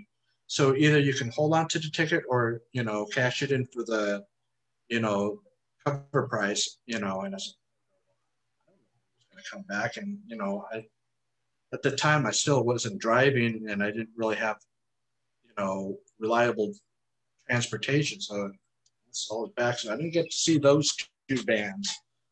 But you know, after that, I got to go. I went with a friend to go see Iron Maiden. Great show. That was so fantastic. Hmm. I believe wasn't Iron Maiden. It was Ozzy Osbourne. He had that Vinnie Vincent invasion. Hmm. That was crap. that was crap. I I don't know, but it was it was. I mean, the L.A. It was, you know, it's such a vast place, but everything is close. But because of the traffic, yeah. it makes it feel like it's ten times further away. You know, Oh, I know. And that's the only thing I don't miss about LA is that traffic and in the summer when it gets triple digits. I mean, I I swear.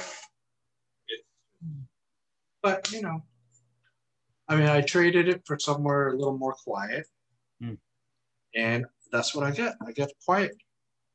You know, don't have really. There's no club scene here. Yeah. Um, the only thing down at the waterfront, the river, um, not last year, but previous years, we have uh, waterfront concerts, but it's either country bands, uh, hip hop bands, or what you call the, um, the not the top 40, but the greatest hits bands, you know, the ones that haven't put out an album in years or maybe decades and they're just writing the, their own coattails. They got that, and once in a while there was like this extreme metal festival with all these bands that sound like they're singing with um with dirt in their mouth. You know, it's like. I mean, there's some I can tolerate, but not every single band, and not every band where they're all in your face from the first second that they start playing, you know, there's like no nothing dynamic to it. It's just all you know, just like a wall of sound. And so nothing comes up that, but that place would be so perfect for Mm. rock festival or something like that. I mean, it was so perfect. It's right there on the river. You got a nice Yeah. scenery. It's outdoors, so people can picnic. Well, You know. promote some shows, do some booking. If you build it, it will come. I need I need the money for something like that to get the Get some sponsors. Crawl around, you know. I mean, that's the nice thing about where you are. At least, you know, you're you might not have anything in your actual immediate city, but you're not too far away from other big cities. You know, it's like, Austin is about four four or five hours. yeah, how far away is New York? Um, maybe about six, eight, Six. six to eight. You know, I want to say six to eight hours. Because when I came across, uh, the second time I came to Maine, took the bus. Don't ever take the bus cross country. Yeah, You're in a cramped little space. Here's your legs. It's like barely yeah you be ready for that. cramping up and everything. And they don't. Now that was 2007. They don't do what they did. You remember you seen the old uh, movies and TV shows where people stop at, on their bus stops. They stop off at a restaurant or something like that. We stopped off at McDonald's, Burger King, and then the then the then the bus uh, the Greyhound stations. They have their own little um, cafes in there Mm. with jacked up prices. Oh, horrible.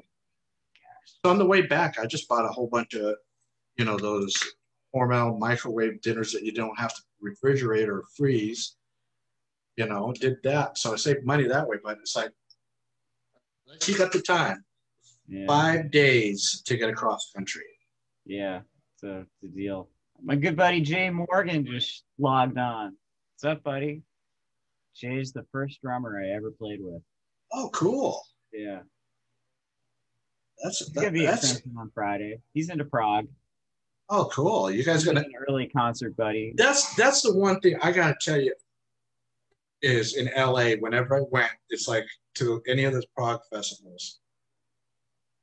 Uh, even if you're not like like a close friend to these people, when you get there, it's like hey, you know, you point to each other, you know, like Well, music is the great unifier. You know, if you meet someone that has the same record collection, you can talk to them. You know. oh yeah. Years.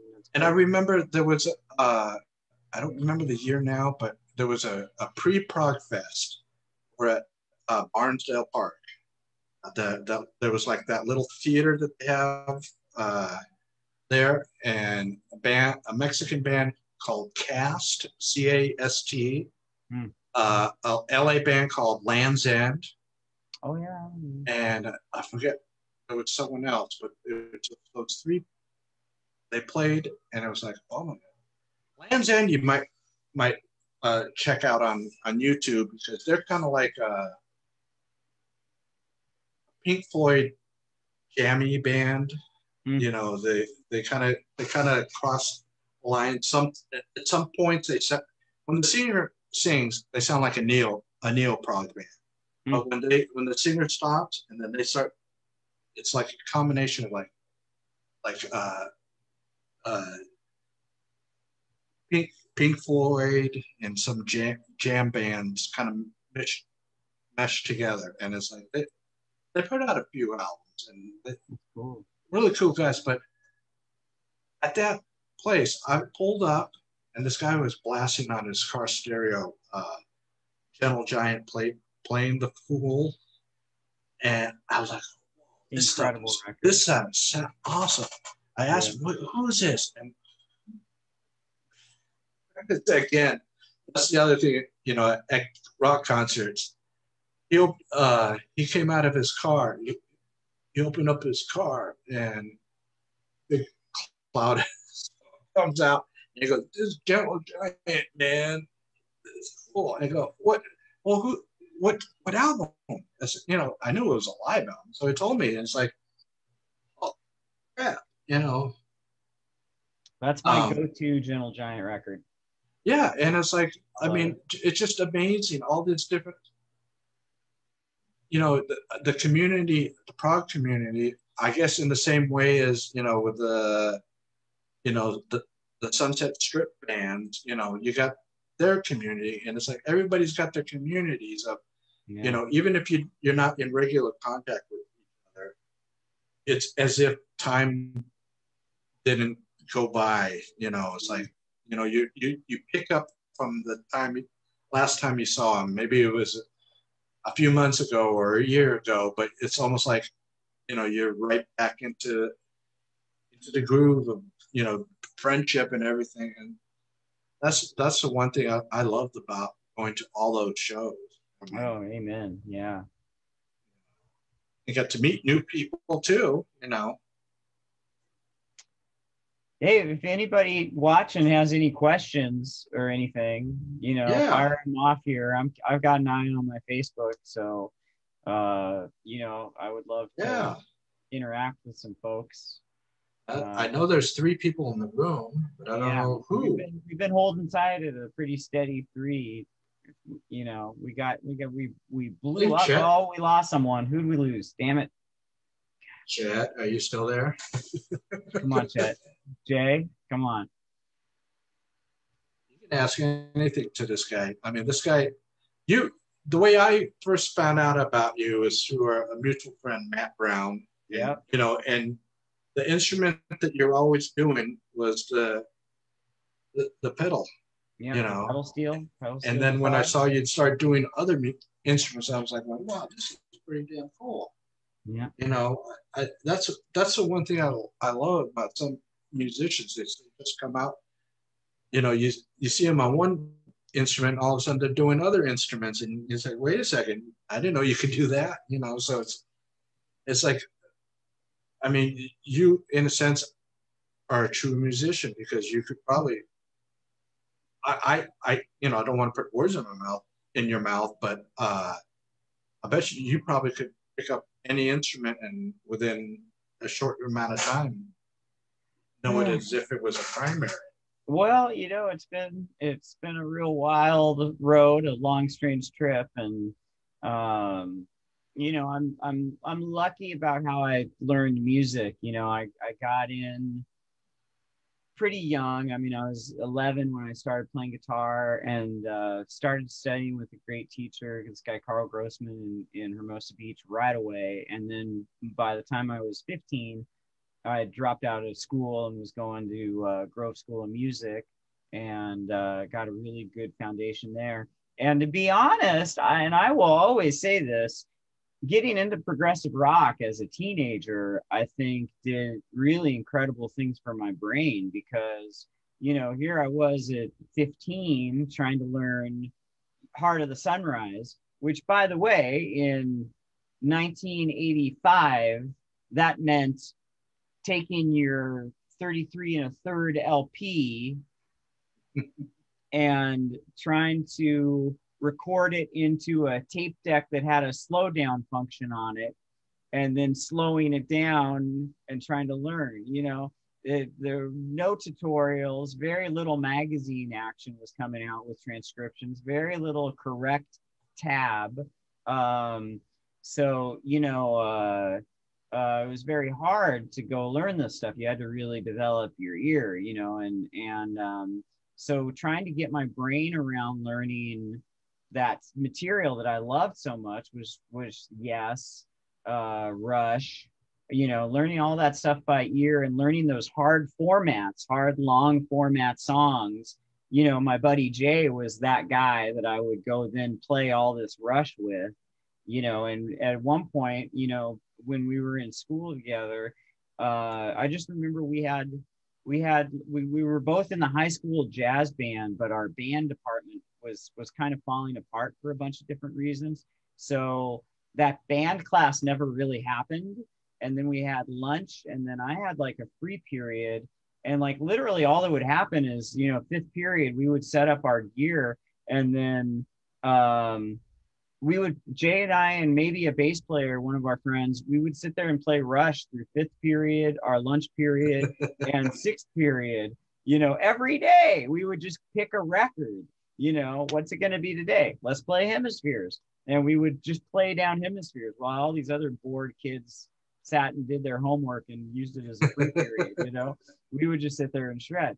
So, um, uh, you know, that's, that's how I learned music. So, uh, and then oddly enough, uh, in when I was in my very, very late 20s, probably, I wish I had a better recollection of this, but I was just getting into a lot of records that um, had pedal steel on it.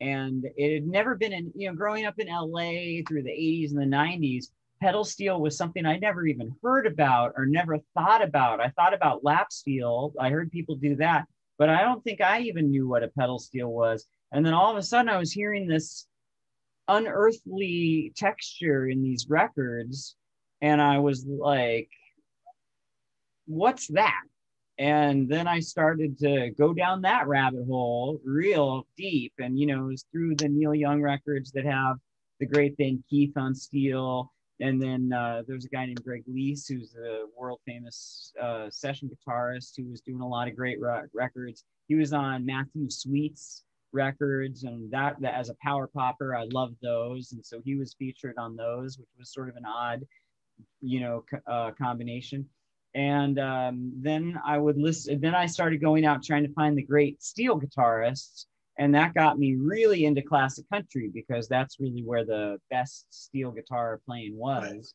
you know. And and it's such a weird juxtaposition because you would have these, you know, country artists from the '60s and '70s doing cowboy country, where you would think, oh, you know, maybe these these hicks don't know much about music or whatever, you know and you know they're only playing a few chords and cowboy country chords but then you would get the virtuoso of the band would be the pedal steel player.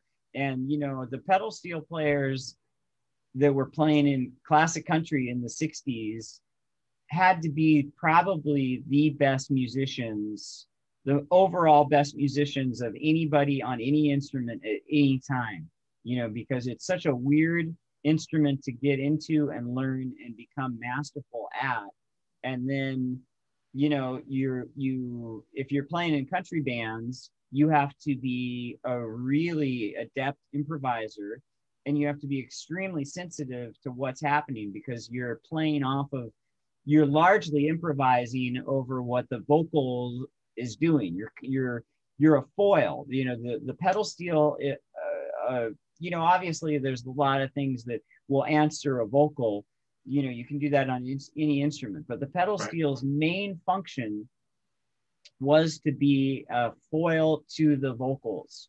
And so in classic country, when you get these incredible, unique musicians like George Jones or Willie Nelson who do phrasing like you've never heard before, and right. they'll never do anything the same twice well you have to respond to that and match that and be a part of it so it's it's it's it's really a special deal in the 70s and 80s that element got kind of tossed away because pedal steel just sort of became um, you know another texture in the record so you would have a vocal and maybe someone would slide up to a chord and you know right. that's all you would get but in the 60s you straight up had to be the best of the best of anything. Right. And for me, there's never been players that were better than that. And um, you know, it is a pretty bold statement, but I think those musicians were absolutely the best musicians of any genre and any field, any level. Uh, it's a shame that a lot of it's not more documented because, um, you know, technology being and also and also too is you know uh, unless you're understand the, the classic country, I think I don't think many of the newer country artists used a lap. A lot many don't. I mean, it's it, that again, it really fell by the wayside in the 80s. I guess it was just because people don't want to, you know, oddly enough, people don't want to sound too country. Um, you know, you know that's that's how we we used to differentiate between country and rock music. You know, is there was something in the country sound that you knew that it was country, and in the rock sound you knew was rock. And nowadays, I hear I hear some of the some of the country songs, and it it's almost like they're Can't you know cross you're crossing Yeah. over to each other, and it's like it like wait a, pop- sec, you know? or pop, you know, country pop. You know, it's like wait a second, you know, aren't you guys supposed to be country? I mean, I know it's kind of uh, kind of labeling or being prejudiced to it, but it's like if I want to listen to country music, which I really don't. If I want to listen to it, I want to listen to stuff in like in the 60s and the 70s. yeah, After that, it just it got too mainstream. right. You know, bands were they were trying to sound like Well, again, the The genre takes over, and you get so many people that are kind of pissing in the talent pool, and you lose the feeling of the masters, the originators. You know, exactly. The real. And I and I guess that's that could be also the same in rock music. It's like oh yeah, the the rebellion of the 50s and 60s and 70s started um i mean in the late 70s early 80s you got you had the punk and so that that was kind of a that you know still stayed true to the originals you know in Mhm. the 50s but after that it just got too polished hmm clean, and it's like, wait a second, rock and roll is supposed to be rebellious, it's supposed to be a dirty, you know, hmm sound, you know, when you you can have your little ballads and stuff like that, but if you're gonna do a rock song, that that song is better rocked, you know. It has to rock, you know, in order to be a rock song, or else just or else it's just pop music, you know. I mean, I'm not expecting someone that's doing um, you know, a you know regular rock, you know, let's say maybe let's say a power pop band, you know, like you were saying, you know, Redd Kross or something like that. I'm not going to expect them to go full out heavy metal, Yeah, you know, You because know, that's not. whip out some of the best Kiss covers you're ever going to hear. Oh yeah, that. Oh, what was that movie? You remember that movie that they were in, Spirit of Spirit '76? of '76. Yeah. I'm like going, damn. I saw that years ago, and then I don't know what it was. Um, I think uh, another of our friends, Carrie. Uh, yeah. Oh yeah, Carrie's a big He- power popper. yeah, he got me back into into that. I was kind of into it, and I, but I didn't know what the hell it was. I just thought it was just rock music. They Carrie loves. There's another band. Um, Carrie and I, when we met, we really bonded on a band from Denton, Texas called Adventures of Jet. Uh, and uh, he's the only person that I, I actually had uh, uh, one of those weird things in life. I ended up with a small group of really good friends from that went to school in Denton. And uh, Carrie's the only other person I've ever met outside of that group that knew this band, Adventures of Jet. They also had been a band called Bobgoblin, which I think they've gone back to that name, but they were incredible. There was so much great music coming out of Denton in the late Yeah, he- 90s, early 2000s. Yeah, Carrie's the one. If I ever want uh, power pop, he's my go-to guy for that. You know, Mhm. and uh, it's like it's so cool to have people that are in different genres that you can say that's my go-to person you know i can i can ask them and say what's a good thing of that you know and just, okay yeah i mean I, I love i love uh when music is catchy but not not corny catchy not trying to not trying to be a mainstream catchy but just a catchy Right. would have that that good you know that the uh, a good riff or you know good or a good uh, good vocals you know like a nice chorus you know that you go yeah you know that it, they just energized and was it that that band you know like you say Redd Kross is one of those bands Oh, so good. it's another one of those bands that the one album that I really want is out of print so it's like prices are way sky high just for the 80 fucking dollars for forget the name of the album, but it has that um was it something's fantasy? Were you talking about Redd Kross? Yeah, that I don't Oh, have it, but um, yeah, that one. That's that album is out of print. I don't know if it's. I'm hoping they'll come back in print because I, I, You're not looking for to- vinyl, right? You're just talking about CDs. CDs. Yeah, I I don't have the room for vinyl. Oh, No room. No room. If I had the room, I would have. okay. If But can you imagine all these things on vinyl? How much? you can't find a cop, what is that? Um, I have them all digital, so I don't even think about what record they're on. Is that that's uh, isn't that Phaseshifter, or is Yeah. that Neurotic? Yeah, Phaseshifter's ninety dollars. I think it is. I think I was trying to look for that, or maybe, you know, if a CD's over, if the CD's over thirty dollars, I'm sorry, you know, you're gonna you're gonna probably have to hand deliver it to me. um, Chet's Oh. uh, Chet's uh, market. talking about pedal steel players here. He's giving props to Rusty Young from Poco, true originator that we just lost. Rest in peace. Uh, Buddy Cage, the great Buddy Cage, who took over for Jerry Garcia and New Riders, the Purple Sage. Also, unfortunately, we just lost him last year, I think. Rest in peace.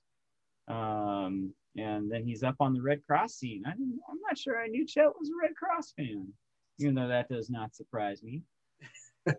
My You never, you never you never know. You know, it's like you only.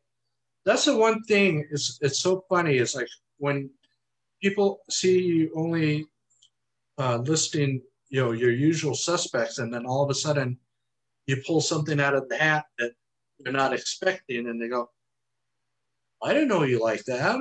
Oh, you know, it's, it's kind of it's kind of cool, and that's that's where I draw a lot of um, my recommendations. It's from people on Facebook.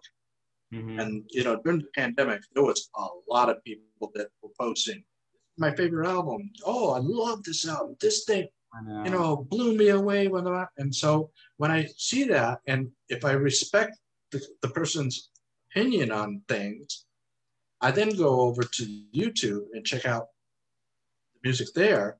Now, Yep. you know, because it's like, okay, you told me you recommend this. Now I need to verify if it really is that good yeah, and it, and when it is really that good, I'm like, oh, that order it. You know, do I got the money for it? Is the other question. But you know, it's like I got to order it.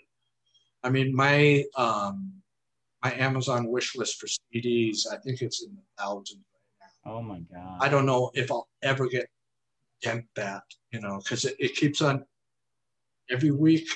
I keep on adding maybe a half dozen new new things that maybe. Um, I mean, I got two categories of music. It's music that I listen to that I never um, upgraded to CD, and and cassettes are gone.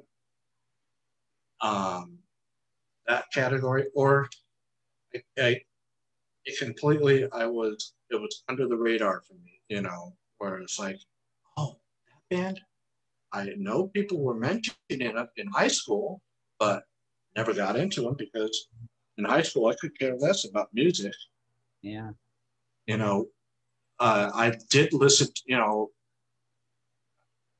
then on my little Walkman I had, I had uh, Queen Two, which that's my go-to album for them. Such a good Yeah. record.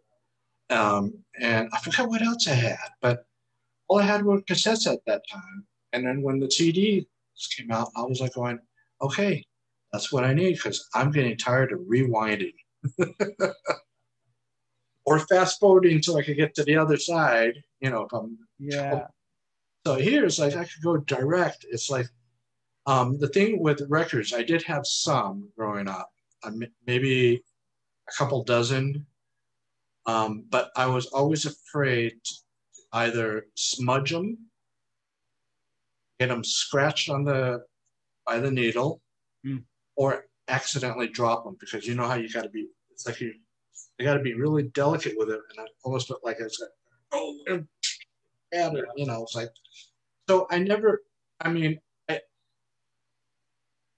I, love listening to people go, say, I got a new record, LP, you know, vinyl, I got vinyl.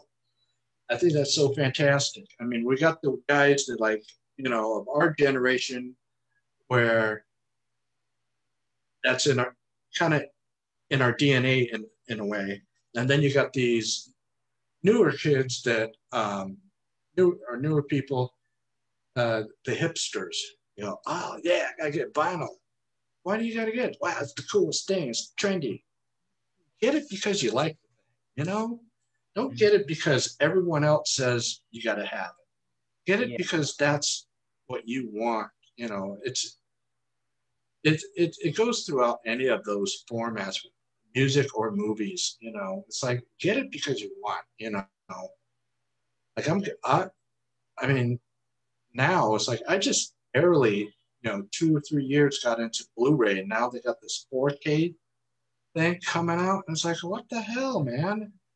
You know, it's like you just released it on Blu-ray, and then six months later, now it's on. You're releasing on 4K. You know, it's like, you know, let the Blu-ray market, you know, have its time. Just the same way as you know, the VHS market had its time. The DVD market, it had not as much time as the VHS, but it had some time. And it's like, Can't stop technology. I know, You know, we've taken that pill, and it's just everybody wants to do as much. And you wants know, the wants wants the best of it, and yeah, but I I gotta tell you, you know, going into you know this is a different topic, but it it coincides with prog, is that movie Suspiria, you know, done and the soundtrack by Goblin. This just de- demonic prog soundtrack. Oh my god, sends chills chills up and down your spine. When they went to did it to Blu-ray, it's like the color palette that you know Dario Argento used. It, it was like watching the movie for the very first time. yeah, You don't get that that often. You know, and that goes with music. You don't get that often where you listen to it. And I got to tell you, of recent times, the one that did it for me is right here. Uh, Eddie Jobson, Zinc, uh, the Oh. Green Album. wow, They put it out uh, a double package with uh, his second one, Theme of Secrets, which is more new age. And then they have a Blu ray disc of it, the audio, and 5.1, I believe it is. I listened to it on my headphones on my Blu ray player. It's like, it's like the thing completely jumped out, and it was like, it, it kind of almost, you know, it would surround. So, you know, you had that three dimensional feeling where you the music was like engulfing you. And um, are you getting a red alert up there? It's just uh, one of these things keeps on dropping down. Popping back up. oh yeah, it's One of, you getting my, transmissions? my Bransonator. It's telling me when Richard Branson gets too close. And, uh, Blow- you know, blown the- out of the sky. I'm obviously on autopilot, so I don't want to jump. I don't want to run into him. So, uh, you know, yeah, when- that's that's the ship telling me it needs to just veer off a little bit. Right. Yeah, Suspiria. That, that, the all the all the new versions of Suspiria have been so well done. I think I think I saw the 4K in LA oh yeah, they would. They did that. Um, right and I got to say that was the best feeling I've ever had in a cinema ever. Um, you know, there were some scenes with the you know coupled with the goblin music uh, I I will have a lifelong uh, touchstone moment of feeling incredible all over body tingles of almost almost having the sensations be too much. It was in the section right at the beginning when she's in the car and she sees over in the forest that stuff's going on and and the main goblin theme is playing and there's the quick editing. It actually was almost a little too intense for me. It was like sensory overload. It was perfect. Oh yeah, and and and the music were so coupled up well, and, and then was- and then when the when the that the, the vocalization of that and I'm like going, oh my god, right in the right in the back of the neck, the hairs were like that, and I'm like, going, and I saw this movie way before I knew what prog was. but I just love how the music was and the movie. It was like they were a perfect marriage. Yeah. I mean, the the movie was a little kind of like it was trippy. You know, you you weren't.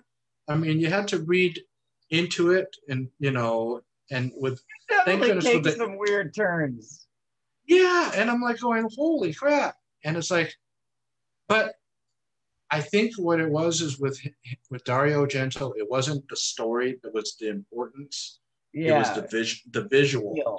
You he know, wanted you to all, feel all those My favorite vibrant. my favorite scene of any movie of all time is in that and um you know uh uh sorry for the three people watching if it's a spoiler but uh, it's not a spoiler for the whole movie but it's uh uh the scene when the the woman's getting chased and uh she's trying to escape the killer and she finds a door and she thinks she's entering a safe room you know, where she's, oh my God, I've gotten away from this killer.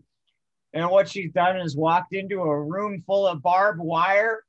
Oh, I know. Oh Why my is there a room full of barbed wire? Who has that? Who just has a room full of barbed wire? And a No. dance studio note. Reason. But it's like the most incredible scene, and I just love it to death. Yeah, Um, and it's like you know those those are the kind of thing, and it's like no, you know ju- first response. it was like you know the the music. Yeah, the music. I mean, and I got into the goblin music back then. I didn't know what the hell they were. I just thought Right. it was just interesting kind of music. This was uh, when I was working at a video store in the mid '80s. Well, I, you know, I rented as much as I humanly possibly could because I had no life. You know, so it's like, you know, uh, I think it was '86, so I was 20 years old. I had really no life, so I just going, okay, I just rent as many of these things as I can. hmm Yeah, you're really into. I mean, that's the uh, the, the other. I know, Chet. Right? I know. Who has a room full of barbed wire? What the fuck? Um. uh. But you're uh, you're really into giallo and um. Oh yeah, I love, I love that.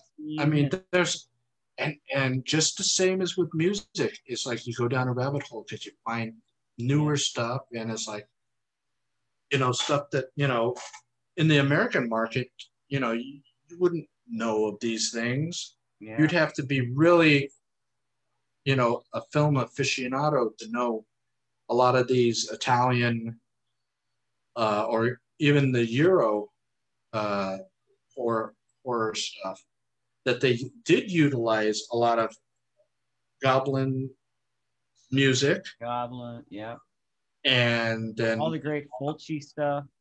Yeah what's his name uh the keyboardist uh fabio frizzi you know this guy oh my god it's like Oh my god. it was like they were i swear to god it felt like those two artists were like conjuring up hell Yeah. i mean they were because Yeah. they had these demonic sounds Oh. the uh, without going you know like into the the metal sound they had these demonic sounds that it's like i think they would have put a lot of these metal bands that claim to be uh that they worship the devil i think it would probably scare the crap out of them because you're Oh. you know you're gonna Yeah. and it's like but it you know I can't remember. I think we've talked about it before, but you know, one of my favorite CDs in the world is um, Morte Macabre. Um, oh morte macabre yeah yeah, the the combination between Anekdoten and Landberk, where they cover horror themes, and they do. Uh, I think they do a song from the Beyond, and Yeah. uh, and then they do the Killer, uh, Rosemary's Baby. But, you know, Yeah, one of my that. favorite things that I've been blessed with in life, getting to see, is um, you know, at one of the, uh, the there's a there's a horror fantasy festival that happens here in LA at the Egyptian Theater every year called uh, Beyond Fest, and they hosted Goblin in a live performance. And one, I'm I might be getting uh, memories mixed up, but I think they've had them twice. I might have that wrong. Oh no no no they they they this is what it was. Uh, they had Goblin out, and and uh, Goblin played live at the Egyptian Theater, which was a, is an old historic theater here in LA. Oh yeah. And they played with a reel of of great Argento movies behind them. Behind yeah. 4K screening of Suspiria proper. And then, um, and I have the best. Let me. I'm gonna get this off of my wall. My two two of my favorite possessions are actually posters that I got.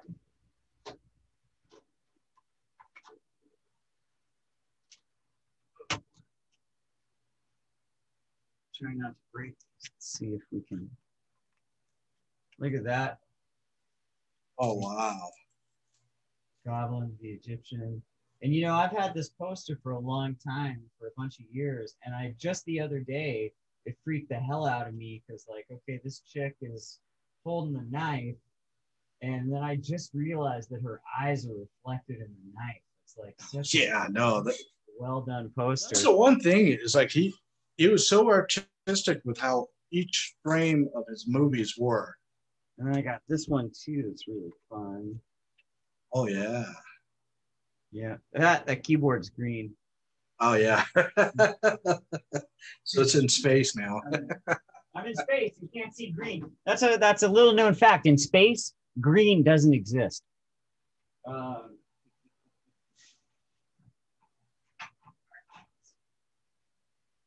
had to had to wash my hands. I just haven't been cleaning in a. Yeah, I love. That's a real fun. That's a real fun uh, juxtaposition there. You know, getting. I mean, you know, all of that Italian, even the lesser known stuff. You know, I, I there's a really you would actually really enjoy this group. I have these friends that do movie nights here in LA called Rendezvous. And um, they have a film club on, it's on Facebook, and then they're also all over Instagram.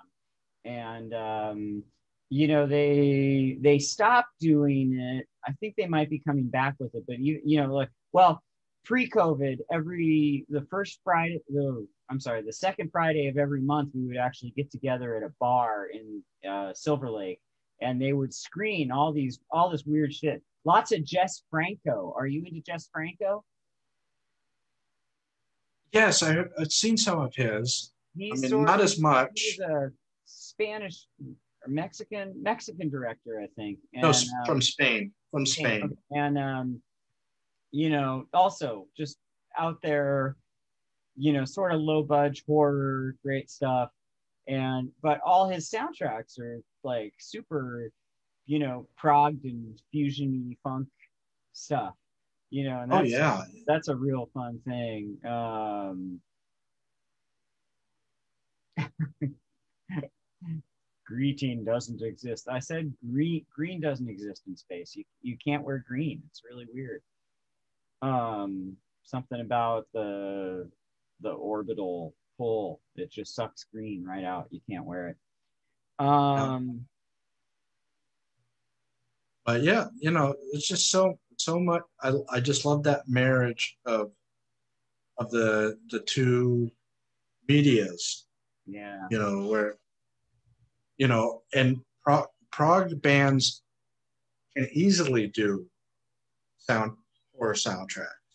Oh yeah. because you know, especially if they're they're very fantastical or you know they you know it's perfect because then they can just go off on a tangent you know in any kind of direction is how they want to go and so it's like i mean i know i know a lot of people they don't like you know progressive rock because it's intricate and everything that you know and it's like i think in today's society we're so one dimensional on Mhm. how we listen to music, how we watch movies. I mean, music has got to be straightforward, you know, and movies have to.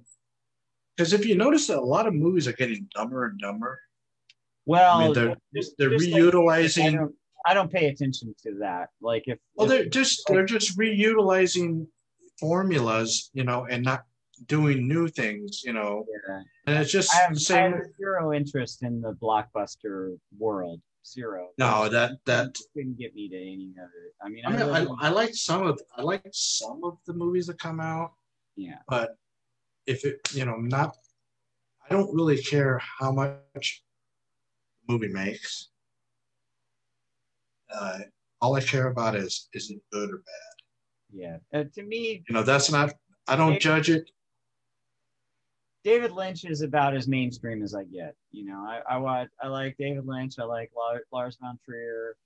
Um, you know, uh, and then I I like the, the old '70s stuff that we're talking about. You know, um, Summer of Chet just brought up Summer of Soul. Summer of Soul is probably the best documentary that's ever been done. It's just incredible.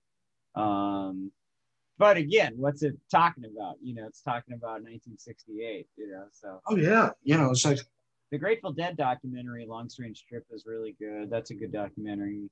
But again, it's about the dead through that that period. I watch mostly documentaries. I've I've gotten to a really weird phase in my life. Now you have to realize that from the time I started to get into music, which was when I was four or five years old, um, all I did was hammer down as much music as I could get into my system, probably yeah. until my early 40s.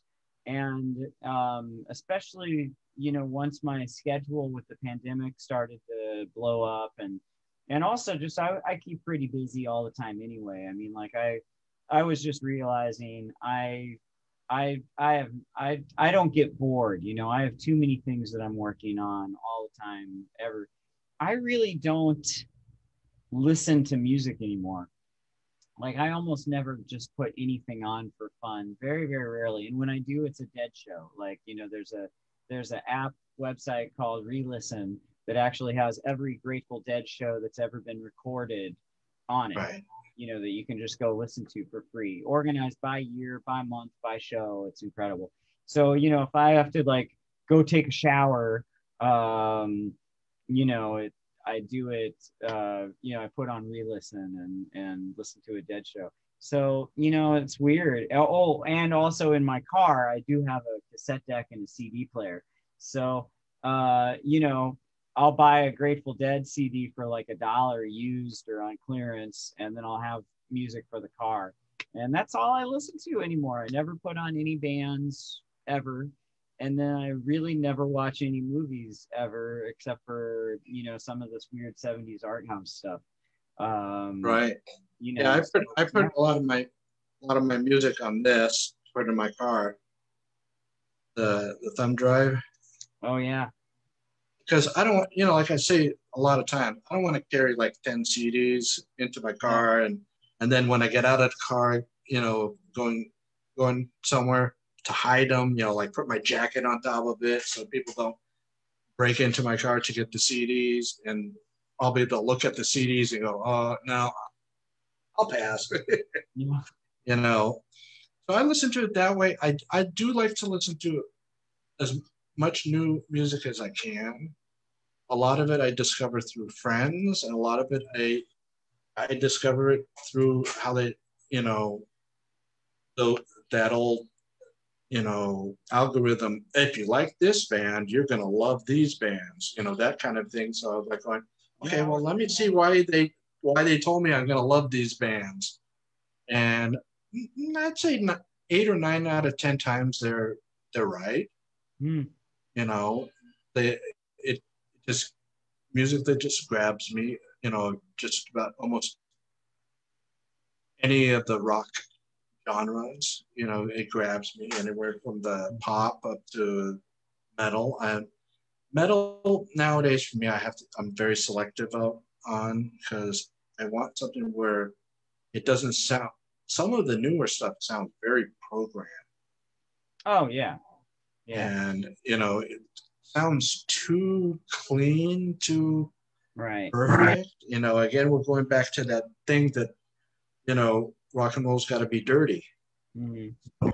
in essence metal's got to be dirty you know it's got to be dirtier you know you know it's it's got to have that that grit to it that you know if you're gonna if your music is going to be uh, polished then you know, stay within the pop genre. But if you're going to call yourself a rock band, you know, you got to rock. You know? know. Yeah. Not a rock. You know, it's like it's not a. It's it's then it's false advertising. If you say I'm a rock and roll band, you come out with all these sappy songs. It's like, no, you're not. yeah. yeah, you know, I, I look forward to seeing what what else you know Astral Arc is going to do. Me too. Yeah. I, I really, you know, I think you touched upon something that we haven't seen in a long time that people are kind of overlooking. You know, again, we're going back to, you know, I like your wording, going back to the blueprint. You're going back to the blueprint. You're, you're, you're in a way kind of like starting from scratch. You know, you know, you're, you're it's almost like you're saying, okay, well, I'm kind of forgetting everything that came in the mid 70s to now, you know. I want to, you know, you want to focus on where those bands got their their influence, you know, their, you know, that's the the the little uh, light bulb moment saying, "Hey, you know, I'm going to go down this route." You know, you know, you want to go back to that, and I think that's fantastic. Well, that's just my favorite, you know, like the the genre that I just feel like I really get, you know, that just I really fall in line with is that sense of um experimental sound sculpting that, you know, like all these psychedelic trippy bands have. Oh yeah. You in, know, in, in the late 60s. I mean, to me, I just you know, I, I I mean, you know, people forget how true, you know, when you know a lot of people you know, even when they reflect back on like, oh, what's your Pink Floyd experience or something, you know, it's usually Dark Side or The Wall. Well, for me, it's Piper at the Gates of Dawn. You know, right. and when people talk about think, the dead, they think about oh, what the dead were like in the '90s and the '80s mostly. And for me, it's Live Dead. It's Aoxomoxoa. You know, it's like I want that trippy psychedelic world. You know, I like the right. Beatles when they were doing drugs. You know, I like the zombies when they were emulating the Beatles doing drugs. You know. Uh, oh yeah, you know, it's like I, I think it's um, you know, going back, you know, like you say with Pink Floyd, for me, or I do like stuff after metal. Yeah. But I love stuff that's before metal. Yeah, for sure. I mean, it just it I mean, for me, you know, since I don't take drugs, I don't do any of that. You know, I I don't got any quorums with people that do. You know, that mm-hmm. everybody it's up to everybody as what they want to do. Uh, but those that kind of stuff, trippy like uh, that one time, first time I heard Interstellar Overdrive on the headset when it was panning all over the place. I got the first time I got dizzy, but I, it was like I got dizzy, but I was with a smile on my face, you know, that, that kind of thing. And it was like, it just took me to another dim- dimension of, you know, of places that I didn't think I could go to. Do you know, you know do you know Dukes of Stratosphear? I know of them, but I have not heard them. Essential you know, I know Carrie has been talking about those guys. I mean, if you like, XTC, they're basically what they're they're XTC, but they just because they wanted to do a different sound, they didn't want to, I guess, confuse the their. That's that's exactly. They wanted to do. They were writing songs, and they, eh, you know, it's interesting because those albums that they're around, you know, Skylarking and Oranges and Lemons are like my that's my favorite XTC and yeah. they were yeah. they were writing stuff that was just too genre specific and too over the top to go on their regular records so they created the dukes of stratosphear right you know name and and they're amazing because i mean when do you get you know this is in the 80s you know you get yeah. a band that had john leckie producing them and and a budget and they went into real major deal studios and got to craft two incredible documents that are you know psychedelic rock you know like they they when it was not hip to go play 60s revivalist music. You know, this right, right. You know, you're talking Madonna and you know Prince and that you know 80s and MTV, and here's a major successful band that just went in and used their clout and their record label and their great producer and money to make two psychedelic 60s rock records. Right. Unheard of, you know, incredible. I, I mean, I, I love, I love the band, LA, but they were all unknown at the time. I love that. I love when bands kind of throw you off like that because then they're showing that okay, we're we're artistic. We're not mm-hmm. just we're not just on a what do you call it? Um, we're not on cruise control doing the same things every album, every album. We want to bring one one band. I gotta tell you that I was so surprised. I mean, we know Oingo Boingo, this happy dance music stuff. But when they put out that one album, Boingo, that dark sounding, it sounded like, um, in some ways, it sounded like an evil Beatles, you know, because at that time, Danny Elfman was into the soundtrack. So it had that kind of a soundtrack vibe to it, but it was so dark sounding. I think they even did uh, some Beatles songs, uh, "I Am the Walrus" or one of those songs, and it was just so dark sounding, and it was like I never thought when I heard this, and it's had a had a kind of a prog vibe without it actually being full on progressive rock. Yeah, it had a vibe there, and I'm like going, I didn't think. I mean, there was like eight minute songs, ten minute song, and it's like, oh wow, what is you know? It's like it was like completely off field. But instead of them being Oingo Boingo, they dropped. They called themselves Boingo. And huh. It was just, it was just that. Maybe again for that obvious reason that you know with XTC doing the Dukes of Stratosphear, you know we don't want them to get confused, you know.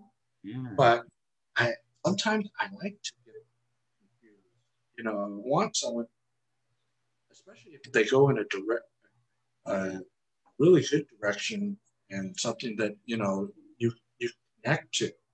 Yeah.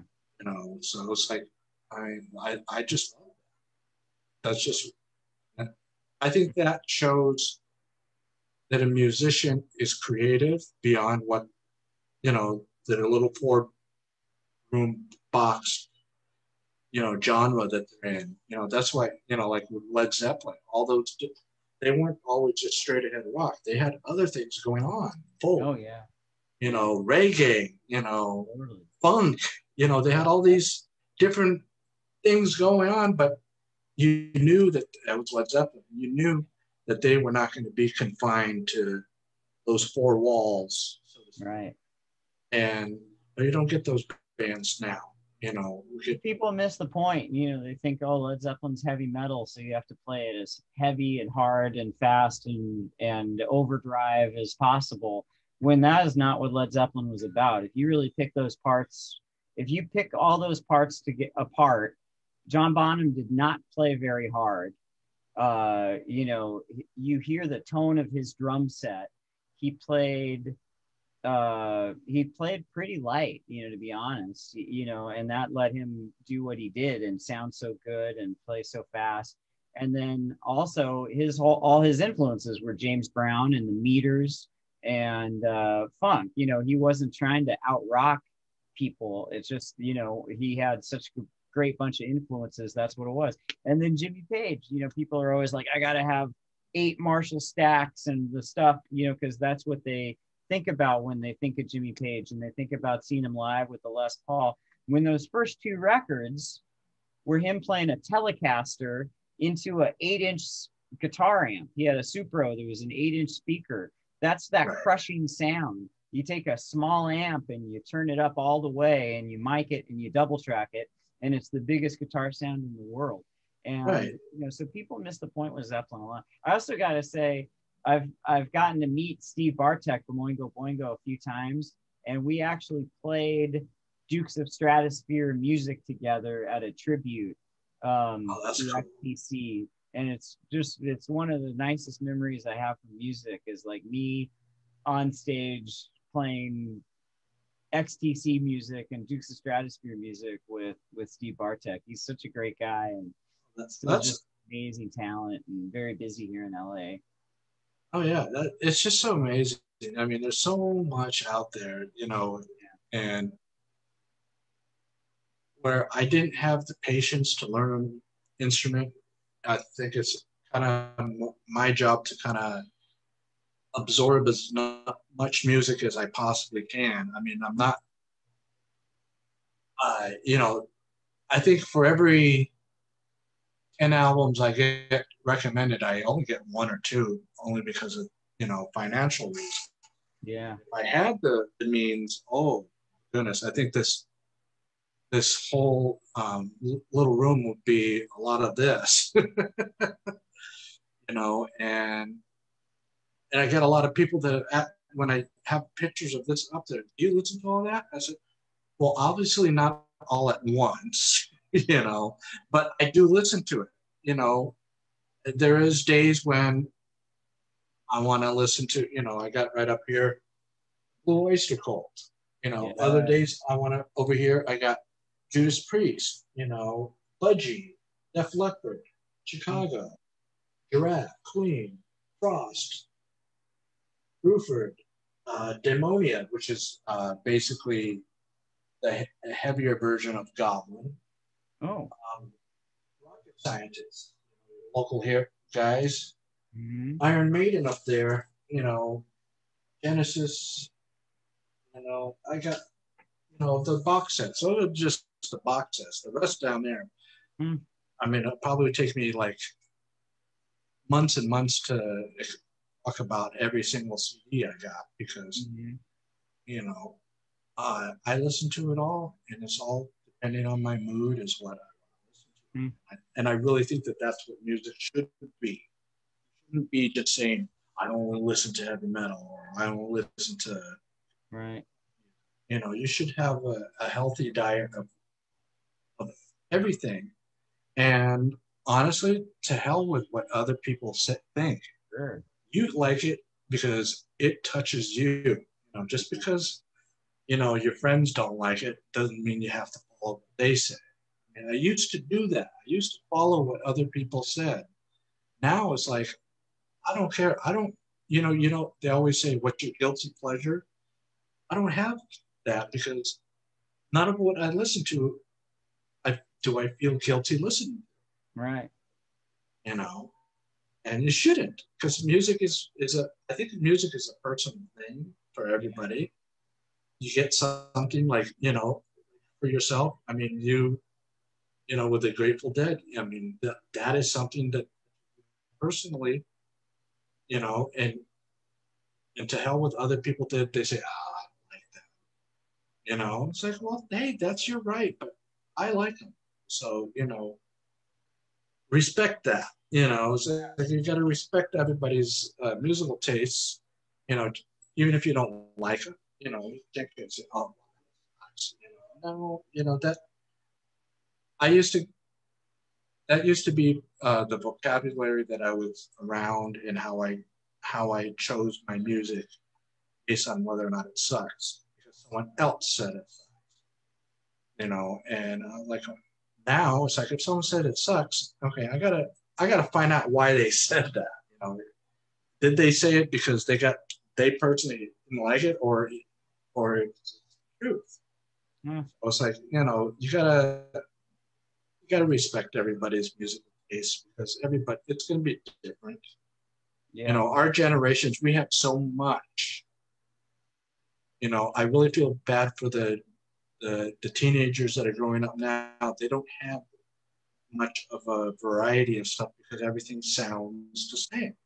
Yeah. Well, You know, you know, You know, I mean, there's some. flip side of that is if they have good adults in their life, you know, then you can steer I them mean- into stuff, and then they have everything at their disposal. I mean, you know, I'll meet I'll meet the hippest fourteen or fifteen year olds that you know could school me on Velvet Underground, and I'm just like, what the Oh fuck? yeah, You know, it's few and far between, but the you know the kids are out Oh, out yeah, there. yeah. You know, there are a lot of kids. I've I've had the the great benefit to uh, uh, you know really get into knowing some school rock people and uh, you know out in Woodstock there was the Paul Green uh, Paul Green yeah you know what's he call it uh, his rock camp thing and you know it's oh, great yeah.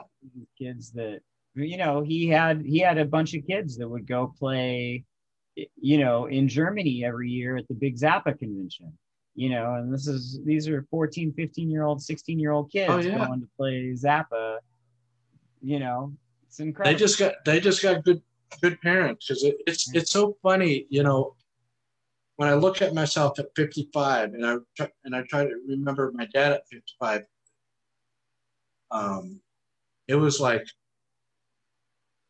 mature i'm nowhere near what my dad was i mean i'm just still i'm still that 18 year old kid you I know deep down, that's all I am. And every once in a while, I kind of get reality checks, but you know, that's how it is when you get old. But my but my mind is of that 18 year old. That's how I pick my pick my music. You know, that's what I, fresh. I mean, I can listen to uh, more melodic uh, Neil Young stuff in one instant, and then the next thing I could be listening to Slayer. Mhm. you know, it's like Yeah. it's all it's all based on you know moods. You know, Mhm. and I think the more styles, the better, yeah because then you can have more you have more room to stretch out your moods. You know, like when I got that weather report, uh, Black Market, I'm this is so cool. You know, something like Kate for everybody else, they've had had it for years and decades. Me, I just got it. It's fresh into me, you know. So I'm I'm diving into that genre a little bit more than it maybe five, ten years ago because it wasn't on my radar of things. Even though people are left and right saying, "This is this is you know this yeah. is the thing. You know, you got to get this. You got to get ah eventually." Well, I, I have it. can. I mean, there's just so much out there, you know, decades and decades and decades of great stuff. Oh yeah. I'm always blown. Every year, there's someone who comes in and it's like, whoa, that's something I never thought about getting into it, and then it changes my life. You know, like Oh yeah. Every year. That's that's the one thing. You know, you got to be open minded. You know. But you Right. are more well versed in a lot of stuff than most people are, and so you have to appreciate that about your. I you know i um i i do that because and and one of the one things i love to do is i love to watch documentaries on music like what chet was saying about the different documentaries i Mm, haven't got, gotten into the ones that he was mentioning you know but i got into some some of them i watch on youtube that people have uploaded there and you know find out so many different different things that you that weren't as publicly known. mhm. Uh, maybe within the community it, it is known, but it's like for the the most part, you know, they don't know. And Mhm. just to find out uh, different stuff. So it's like I one of my other practices I do when I get a CD, I immediately go since we've got the power of the internet. I immediately go look and type in the name of the band Mhm. and then look for you know most either their website but their website tends to be more biased to them so i like to look at the wikipedia Wikipedia. and then you can find you can find you know because then everybody is is posting in there no one's biased to you know they're if anything they're only biased to their experience with the band but mm-hmm. you get all this you know for the most part you get a lot of truthful information Yeah. you know. But you learn. I gotta, you know, to me, I like to learn about what, why did that guy do use that instrument that is totally non-conventional? Why did he do that? You know, things like that. You know, I I want to know. You know, it's like I got. It's not I want to. I have to. I have to know why. You know, just like when you when I was saw about your, you know, pedal steel, I wanted to know more about because all I used to associate that was with country music. But some rock bands have used them in the 70s. So it's like, I want, you know, I like to know why is it used and and why does it sound so cool? you know? You know, that's just just how I am. I just like, you know, I need I have a thirst for knowledge, you know, you know, I just don't want to buy the CD, listen to the CD, you know, and if it's heavy, you know, rock out and then turn it off and go about the day. I need to know why was that album made, you know. It's an important thing for me so that I can better understand when I'm listening to music. And a lot of mainstream people don't do that because they just, you know, a lot of nowadays there's nothing to it. Yeah. You know, people are just punching buttons on their on their keyboards and then singing and then have auto tune fix their voice and and if they're not pretty enough, they get some model to lip sync. yeah, what's better than hearing stories about? Oh, we were Black Sabbath and we rented a mansion and moved our recording studio and Rick Wakeman came over and we got drunk and he did some overdubs and then John Bonham came over and we jammed for five hours but that never came out or got recorded somehow. And then we made the best record ever. You know, you just don't get stories like that anymore. No, no, it's so that's so cool. You know, you know, so many stories. I mean, and so much knowledge that needs to be learned that it's not just music; it's how the music was created. Yeah, that's why that's why it's so cool. Uh, you know, for me, it makes um, I gotta be honest, my girlfriend's the opposite. as long as it sounds good, that's all she cares about, and that's cool. That's cool too. You know, that's. Um, music hits everybody differently. Everybody wants. Yeah.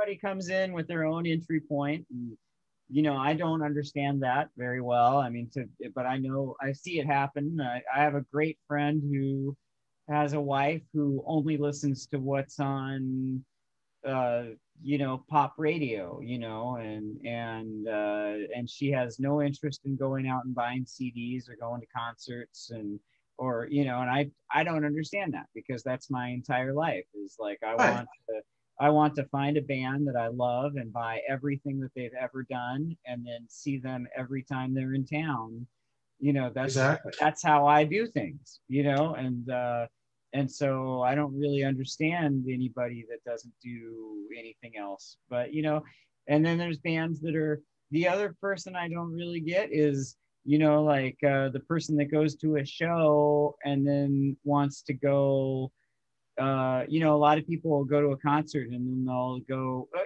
and this is great. This is a nice thing but they'll go and you know maybe go outside away from the show and dance or smoke or hang out with people. And it's like you came to see the show watch the show you know? So like when exactly. I, concert, I like to get as close well you got the people that are holding up their cameras. Well i don't mind that because i mean yeah i have a horrible memory you know? Like i had a brain injury in my 20s and uh right. you know things aren't all there and so uh, I like to go to concerts and I like to videotape things. It's important to me. It's part. But there's you know there's there's that, but then there's people that, especially nowadays, that they're not doing it for that reason. They're doing it for a documentation. They're doing it because now they can say, I was there and I have yeah. proof. You know. Yeah. Well. You know, can you remember the show? No, not really. Yeah, because you were spending too much time with the camera, trying to, you know, and doing your little selfies, right. stuff like that. Have any problem with that. I think that's great. I don't. And I, you know, it's like to me, it's like watch the show, yeah. If you're going to record it, you know, audio, do it how they did it in our day when they got tape recorders stuck down their pants or wearing uh, an overcoat or something.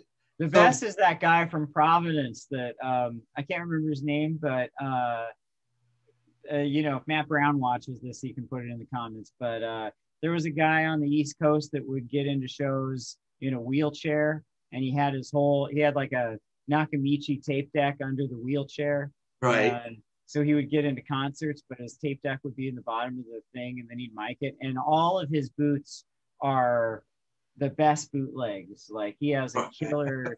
if you if you go, you know, you can Google it and come up with the things. But like he has, you know, yes from like I want to say Relayer or Topographic, like incredible, incredible. In, oh uh, no, later I think maybe maybe like going for the one era.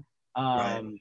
Providence, Rhode Island bootlegs uh, you know, he has a ki- killer yes, the best Sabbath recording I've ever heard them live oh, with. Ozzy, like 75. Like he was in that that the the meat of that his time was like 74 to the maybe right. 77 and he just got all the great bands but, but what's cool yeah like you're saying with the being in the wheelchair he wasn't fiddling he would press it probably press a button once and he was glued onto the to the show it wasn't like fiddling oh, yeah. and distracting himself. I think right. that's what I'm I'm more against is you're distracting yourself. Well, then why don't you instead of going to these things, if they put out a, a DVD or a Blu-ray of it, then you could watch it and then you could, you know, pause it and go out for a smoke and talk to people, you know, or whatnot, you know, and or use it as your background, you know, then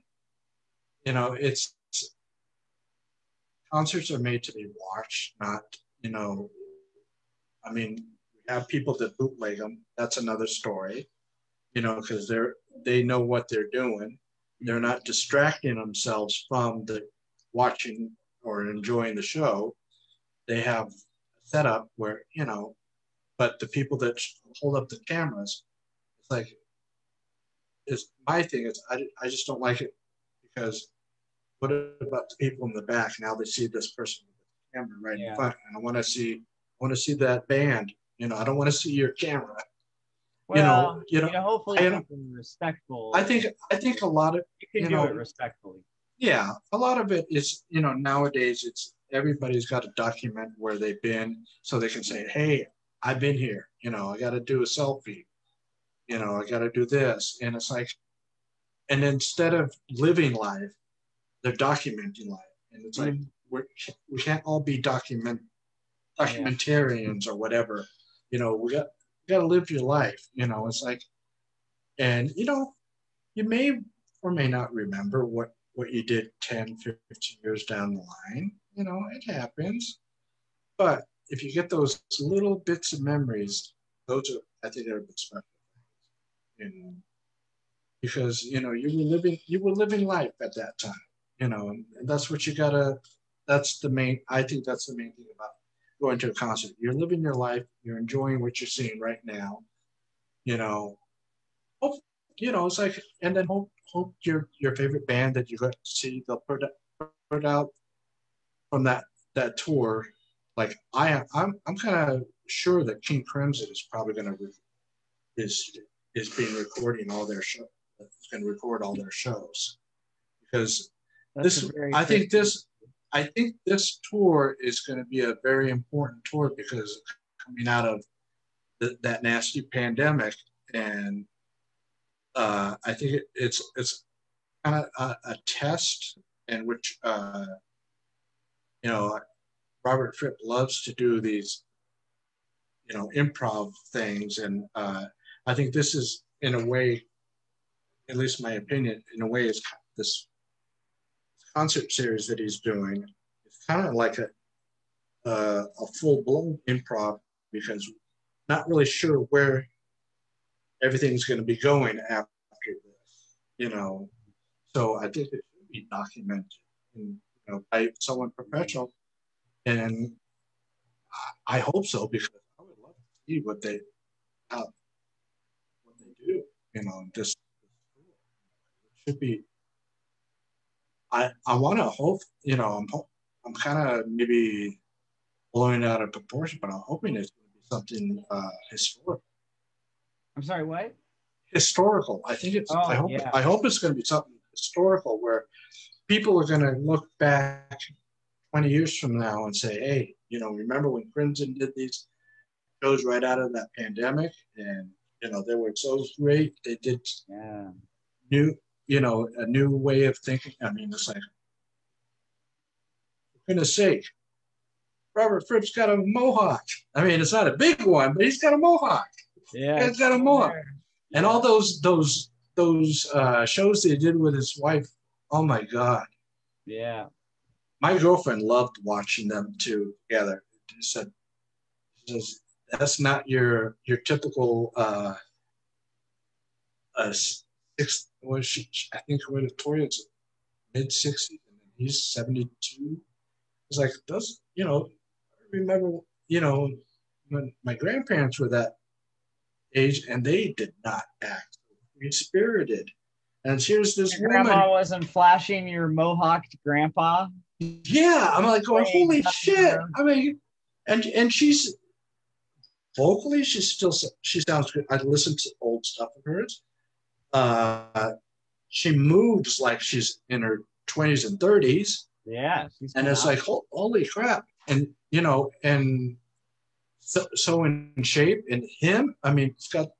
I think he's got more of a sense of humor now than he did 10, 15 years ago. Oh, ever, ever. I mean, I mean, the- come on. I mean, he was he was like this you know i used to look at him and he looked like a like an english professor exactly. and now it's like he's he loosened up and he's you know live you know he's living life and i think that that's gonna affect how he plays and his mindset of Yeah. the you know i really wish they studio As a diehard King Crimson fan who's been into them since I possibly really early as could be, you know, which was the mid 80s for me. You know, I didn't get to see them in the 70s, but I've seen all the footage. I have a lot of records, a lot of boots, a lot of everything from the 70s and 60s. Um, uh, uh, I think I've seen almost all of the footage that's out there that you can see from King Crimson. Uh, I think there's on record pre pandemic uh, only one instance of Robert Fripp smiling. I think I think if you look back for through footage, you will only see him smile once, and that was when King Crimson was on the TV show Fridays. i remember that. Yeah, I think it's 82 or 83, like whenever. no i think it was 80 yeah playing- somewhere on there. Yeah they're playing discipline music. And that there's this hilarious scene where robert's very robert you know he's in his suit. And um, all of a sudden there's a pan and the camera zooms in on him. Like it starts out and it zooms in and he's just got the weirdest grin and he's grinning and he's looking right at the camera and it's it's it's actually disturbing it's a little weird but um, that's the only film footage I've ever seen Robert Fripp smile in until the pandemic, and it's so crazy. He's just so great. I love him. love him to death. oh yeah We've got footage of Robert Fripp dancing in a bee suit. You know, that's it doesn't, it doesn't than that. You know, i know that that is when I saw that, I was like going, "Oh my god!" Here's Mr. awesome. It's like is here's Mr. Stiff Lip, and here he's he's just letting it loose, letting it loose, you know, and you know, I think it took that pan- the pandemic to actually loosen him up. Yeah, and Toyah, they're just so wonderful. Which, by the way, Oh, yeah. you know the movie uh, Urgh, uh, Music War? Saw it years and years and years. Okay.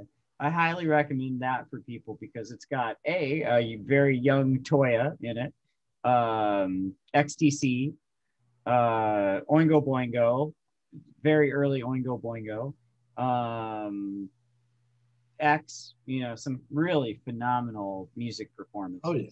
in that. Oh, yeah, that- that's really fun. It's so amazing.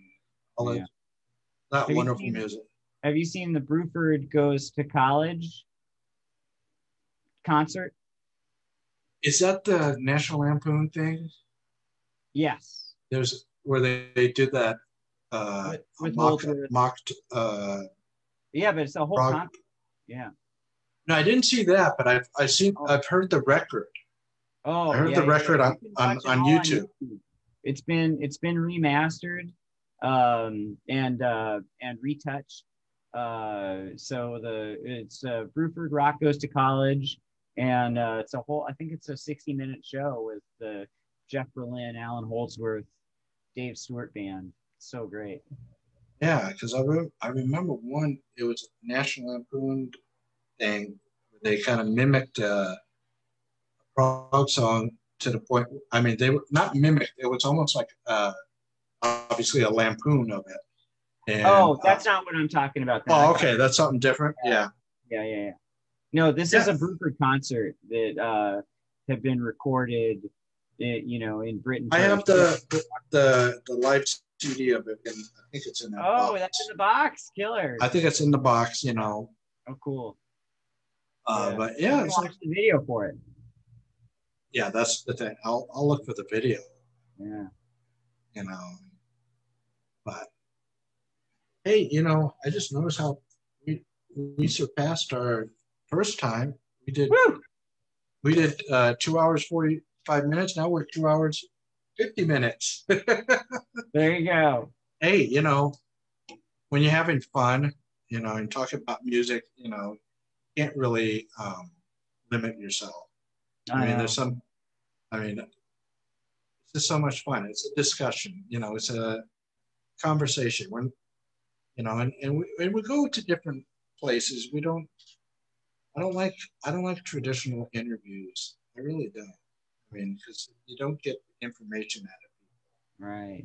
you know, because they're, I think people are more on, on guard when you answer, ask them questions, and then how many, th- you know, especially how many times uh, does a band or an artist get asked, what's your influences? Who's your heroes? Uh, Mhm. what's your favorite record of the day you know what's your favorite record growing up you know things like that you know you're on guard so you're only going to answer that thing but this way you know you get to learn Yeah. get to learn more, more you know yeah it's just like Cool.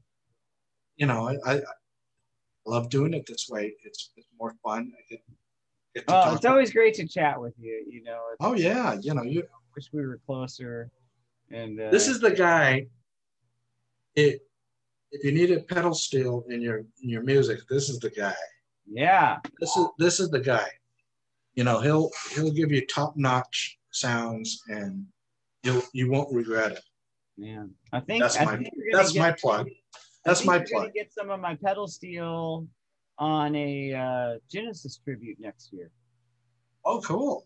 Yeah, because you know Dave Kerzner, he's putting out a uh, Genesis tribute record uh, with a bunch of great artists, and um, I'm playing with Fernando Perdomo, and I'm playing pedal steel on two tracks for him, uh, which was very interesting. I'm actually aping some Tony Banks piano parts or organ parts. I did them on pedal steel, and then um, I I don't know if I'm gonna make the final cut, but then I actually got to record a track for that myself.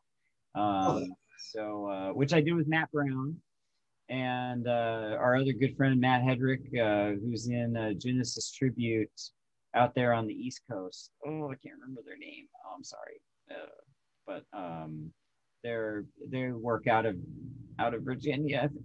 I, I might have all of these facts wrong, um, but um, but that should do it. Well, I should actually Mosey. Do you want to hit anything else before we end? Now that we've broken our record, I can leave. Yeah, Uh, you know. And then that'll give us room. You know, the next time we talk, we can hit an even three hours, and we'll break this record. Yeah, there, there we go. Yeah. Um. Well, you know, like I, I said before, I, I look forward to more Astral Arc and anything else. You know, if if it doesn't fit that, you know, if you have something else going on, and and then of course, you know, your your Friday freakouts. You know, those are. Yeah. I gotta say that those gotta they go back towards those the 60s and 70s because you got things you know things going on behind you like like those old uh projector shows that they usually they would Well, I I love that. So I have actually looked up, trying to find, you know, gel light show art on the internet, and you know, found some really neat recreations that people have done, and I so I source out that stuff for backgrounds all the time, and uh, that's really fun. That is fun. And you know, I try to mix it up and keep people entertained. I've actually covered Suspiria, the main theme on my shows. Uh, I've done, um, you know, to me, the, the greatest Oingo Boingo song is Ain't This the Life because it is straight up prog rock. I mean, it's more prog than, you know, what most people uh, get to put out and call prog rock nowadays. Um, you know, I've covered XTC songs, a lot of Beatles, yes, Genesis, you know so it's it's uh it's an odd bag that you get at the you know i think i think the best prog is the stuff that they're not trying so hard you know well you have to be inspired you know you have to have some just genuine inspiration. And you yeah. know all the people that we think are the rock gods had it in spades you know jon anderson chris squire were full of inspiration for you know a good 10 or 15 years. And uh you know, especially the early stuff for me, I just, you know, close to the edge, relayer, fragile. You're just never going to touch a bunch of people that came together and got more creative and and spoke from the heart. That's the they exactly. they they're, they they wrote the blueprint. There was no blueprint. They created it, and you know now everybody's just trying to copy that, you know, in a way, and no one ever will be able to because they were doing it out of passion you know, and it's, it's yeah, they, that's what they, need to remember is, you know, we're talking about what, you know, math rock and math prog and this, you know, everybody, you know, the, the naysayers of prog look at us and they think it, there's no emotion and there's no feeling and it's just technique. And that's just bullshit. I mean, you know, it might have become that in a lot of ways, but when you look, you yeah, know, I think it does. It. I think it did become where that, but at yeah. the earlier but stages, look at Peter Gabriel in 1973 or 72. That was all heart. You know, he was mm-hmm. the greatest vocalizing that almost anybody's ever done. For me, is you know, Bowie, Peter Hammill, and Peter Gabriel. You know, it's like almost no one was ever that creative or that passionate about music, and yeah. uh, they did a great job. And uh, you know, so it's like, you know, if if you learn one thing, it's like go direct to the blueprint of of this genre and and create from your own. Don't don't copy the bands that you love. Mm-hmm. Get the inspiration from them and do your own thing. Right. You know, I mean, you know, I know some diehard people, you know, fans will go, well, if you don't sound like you know, these bands, we're not going to pay attention to you. And it's like, well, you know, then you're missing out, mm-hmm. you know, because there's so much out there, so much original music that's trying to come out in between all these, you know, I want to say tribute or, you know, if you want to get nasty, clone bands, you know. And I, I blame the 90s. The 90s was the biggest clone era you mm-hmm. know, I mean, there was actual labels that were created and they were looking specifically for those bands and they were doing the same thing that mainstream music was doing we're searching for you know all these the same kind of styles you know we're not looking for anybody original anymore we just want the same what was making money. But it's like, but when you pick that person, you were taking a chance on. Yeah. They were original at, at one point. They were, you know, they were hungry for it. And you gotta look for those hungry artists that, you know, that are gonna bring something to the table. Yeah. Something new, something fresh, you know, that, you know, it's like you need, you know, I'll give an example. You need 10 Guns N' Roses. You really need that? You don't need one. Yeah. yeah. Uh, yeah. But, well, but, I put you know, that out to all the artists watching this. If you're an artist, burn as bright as you can. Get in touch with what you really want to do and what you really want to communicate. And if you're not burning as bright as you can, don't do it. Just don't do it and wait until you need to communicate something You know, that's that's the thing. Don't just, you know, we all have fingers that hit an instrument and we can go play a thing. Don't do oh, that. Oh yeah. Don't play unless you absolutely have to, you know, and think about what you can communicate with an audience and chase that. And um, you know, that's it's it's thoughts like that that keep me going and always trying to figure out, you know, what I can give to people. You know. That's that's perfect. That's a perfect you know, um, instruction, perfect inspiration. You know, it's like, don't, you know, I'll, I'll take it. You know, it's like a lot of these people are like on cruise control or riding the coattails of others, you know, the other success. It's like, okay, well, I'll, I'll, I'll sound like, you know, we'll go back to, I'm going to sound like Chris Squire. My thing is, why? Why don't you yeah. sound like you? Yeah. You know, you'll hear, you know, it's like, it's going to be obvious. You'll hear moments in people's music that, you know, oh, that reminds me of. But oh, yeah.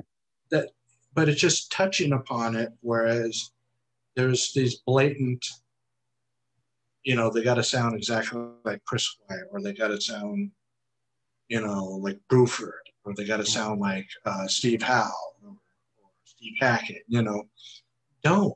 They didn't set out to say we're going to sound like, you know, what our inspirations. We took our inspirations as a blueprint and, you know, here I go, you know, we're going in circles about this, but the blueprint, you know, we just got to go from the blueprint, what they took and create your own music, you know. Yeah. I mean, we need more variety of sounds out there. We don't need the same stuff over and over and over again. We need more, you know, you know, I mean, some bank, some that, you know, you mentioned that I don't think I've heard anybody actually copy their sound as a Van der Graaf Generator.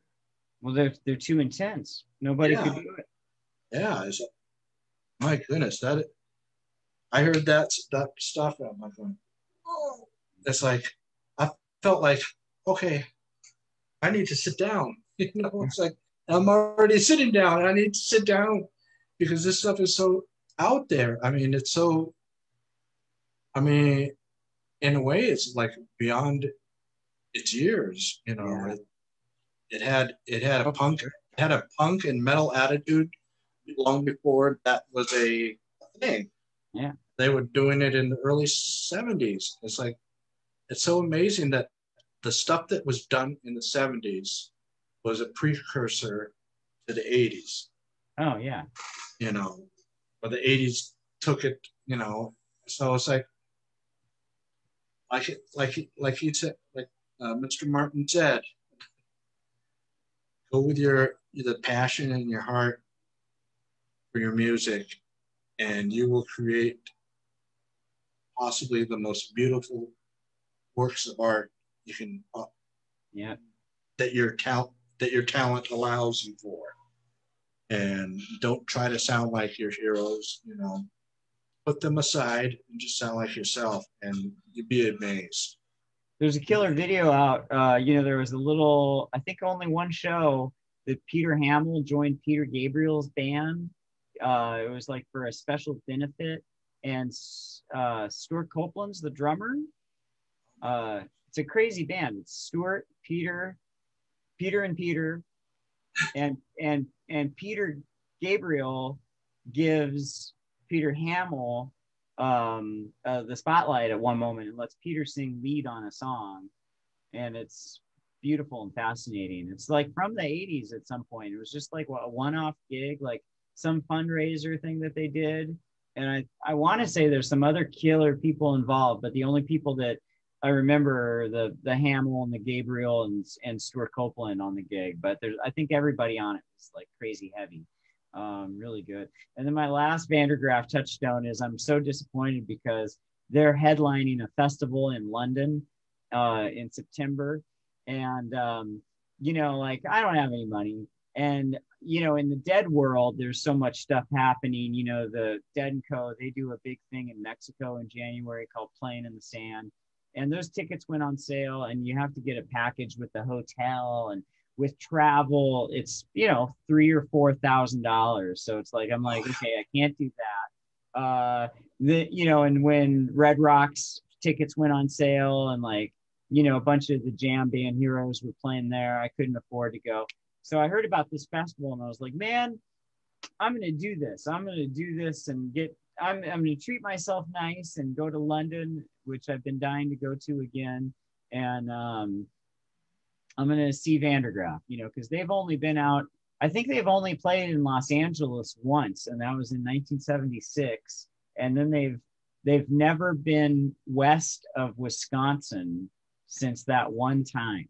And um, so, you know, they've come back on their couple reunions to uh, the East Coast, uh, but they've never come, you know, past uh, Middle America. So I was going to go do that. And the festival tickets actually weren't that bad. But now in the post pandemic, the airfare, the ticket to London is $1,700. And that's, that was the lowest I could find. I mean, you know, with the shittiest ticket. I mean, you know, it was really more like you know, $3,500 just to get there. Uh, so, you know, needless to say, I will not be making that trip. But uh, it would be a great fantasy of mine to see Peter Hammill before, you know, while both he and I are here on this planet, you know. Right. Incredible. Well, hopefully, maybe they'll record it. You know, next yeah. next best thing. You know, that's that's how I look at you know when when bands record their either a live CD or a live DVD or live now Blu-ray, you know, whatever the format. I think it's kind of cool because if you, like for instance, like you were saying, you can't afford to get to it, but you really wanted to see it, it is the almost the next best thing because I mean, granted, you're not going to get the energy off the band. Well, you will probably get the energy off the band, especially if you have a good uh, setup for your, you know, watching oh, your videos. Yeah. yeah. Um, but I know, but it's the show, the magic of the show. I like. Oh yeah, that's that's that's the thing. You know, it's like I, I think want to be there and take a selfie of me in front of Peter Hammill. I gotta get my my friend. I gotta I got a motor. Um, right? Yeah, but thank you so much for having me on. Oh. It's great to connect with you and Oh uh, yeah, so fun and and um, you know I really appreciate the good vibes and the energy and uh, oh yeah, you know, you know. the word about Astral Arc out there and you know oh really, yeah. So, well, oh, I will say this: if anybody tunes in, um, and maybe if you can mention this in your promo too, our two songs are on Bandcamp. So it's astralarc.bandcamp.com. And on Friday, this coming Friday, August 6th, uh, Bandcamp is giving all of the proceeds to the artists. So yes. if anybody wants, anybody can go and listen to our two songs for free. But if you could buy them, if you would like to buy them on Friday, August 6th, coming up uh, from midnight to midnight PST, Pacific Coast time. Um, you know, so uh, 9 9 p.m. to 9 p.m. if you're on the East Coast um, if you can if you can buy them on Friday, that would be really amazing and very helpful. Uh, oh yeah, you know, us independent musicians. You know, every time I hear about that, I hear about it a day late. Now I'm glad you know you're telling me yeah. it now, and I have another friend that t- talks about it. Um, so, and I think that's fantastic, where you guys get 100% of the proceeds. You know, yeah, they're really great about it. You know, one thing you know, it's like what people say think, oh, what we're gonna get a discount? No, the band is gonna get more, more money. Yeah, and you know I, what? and you know what? That a dollar and, a song anyway, so it only costs you two dollars. But the disc also they, too, they take out a bunch of money, so it sucks. Yeah, and um, and the thing is, this is no, the discount here is and gets the full amount, so they can make more music for you to enjoy. Exactly. There's your discount. That's a discount because you get more money. You get yeah. more music down the line. Yeah. You know, and I, I think that's a fantastic thing, you know. So I'll put all those links uh, when I hook this up onto uh, YouTube. Put all those links down there for, people to look at and and support you, you know, that way, you know. Don't just buy the songs once, maybe buy it a couple, you know, tell your Well, friends. and you can also pay more than the amount. You know, that's Yeah, that's the one thing I noticed with the One- Bandcamp. They said that's you know, get the minimum amount, but you know, you know, give a little People more. So really so so so Mr. Mr. So Joel can make some more more wonderful music for everybody Yeah. out there. Joel eating. You know, It's my sole form of income, so you know it's very helpful. So, all right, Well, buddy. well, thank you, thank you again um, for for coming on. You know, I really do appreciate it. You know, enjoy talking with you on here and off Yeah, you know, had a lot of wonderful uh, chats over the over the past almost a year. totally. Well, I'll let you know how the Crimson Show what is. All right, yeah. So, Yeah. well, enjoy enjoy the show and uh, and thanks thanks again for taking the time to talk with me. Today. Oh, it's such a pleasure, and I'm already looking forward to the next one. So uh, All right, keep the series going. You're doing a great job. I can't believe you've had. I can't believe I'm 34. yeah, you're number You know, that's thirty four, one and one and thirty four. One and 34. That's pretty rad. Yeah.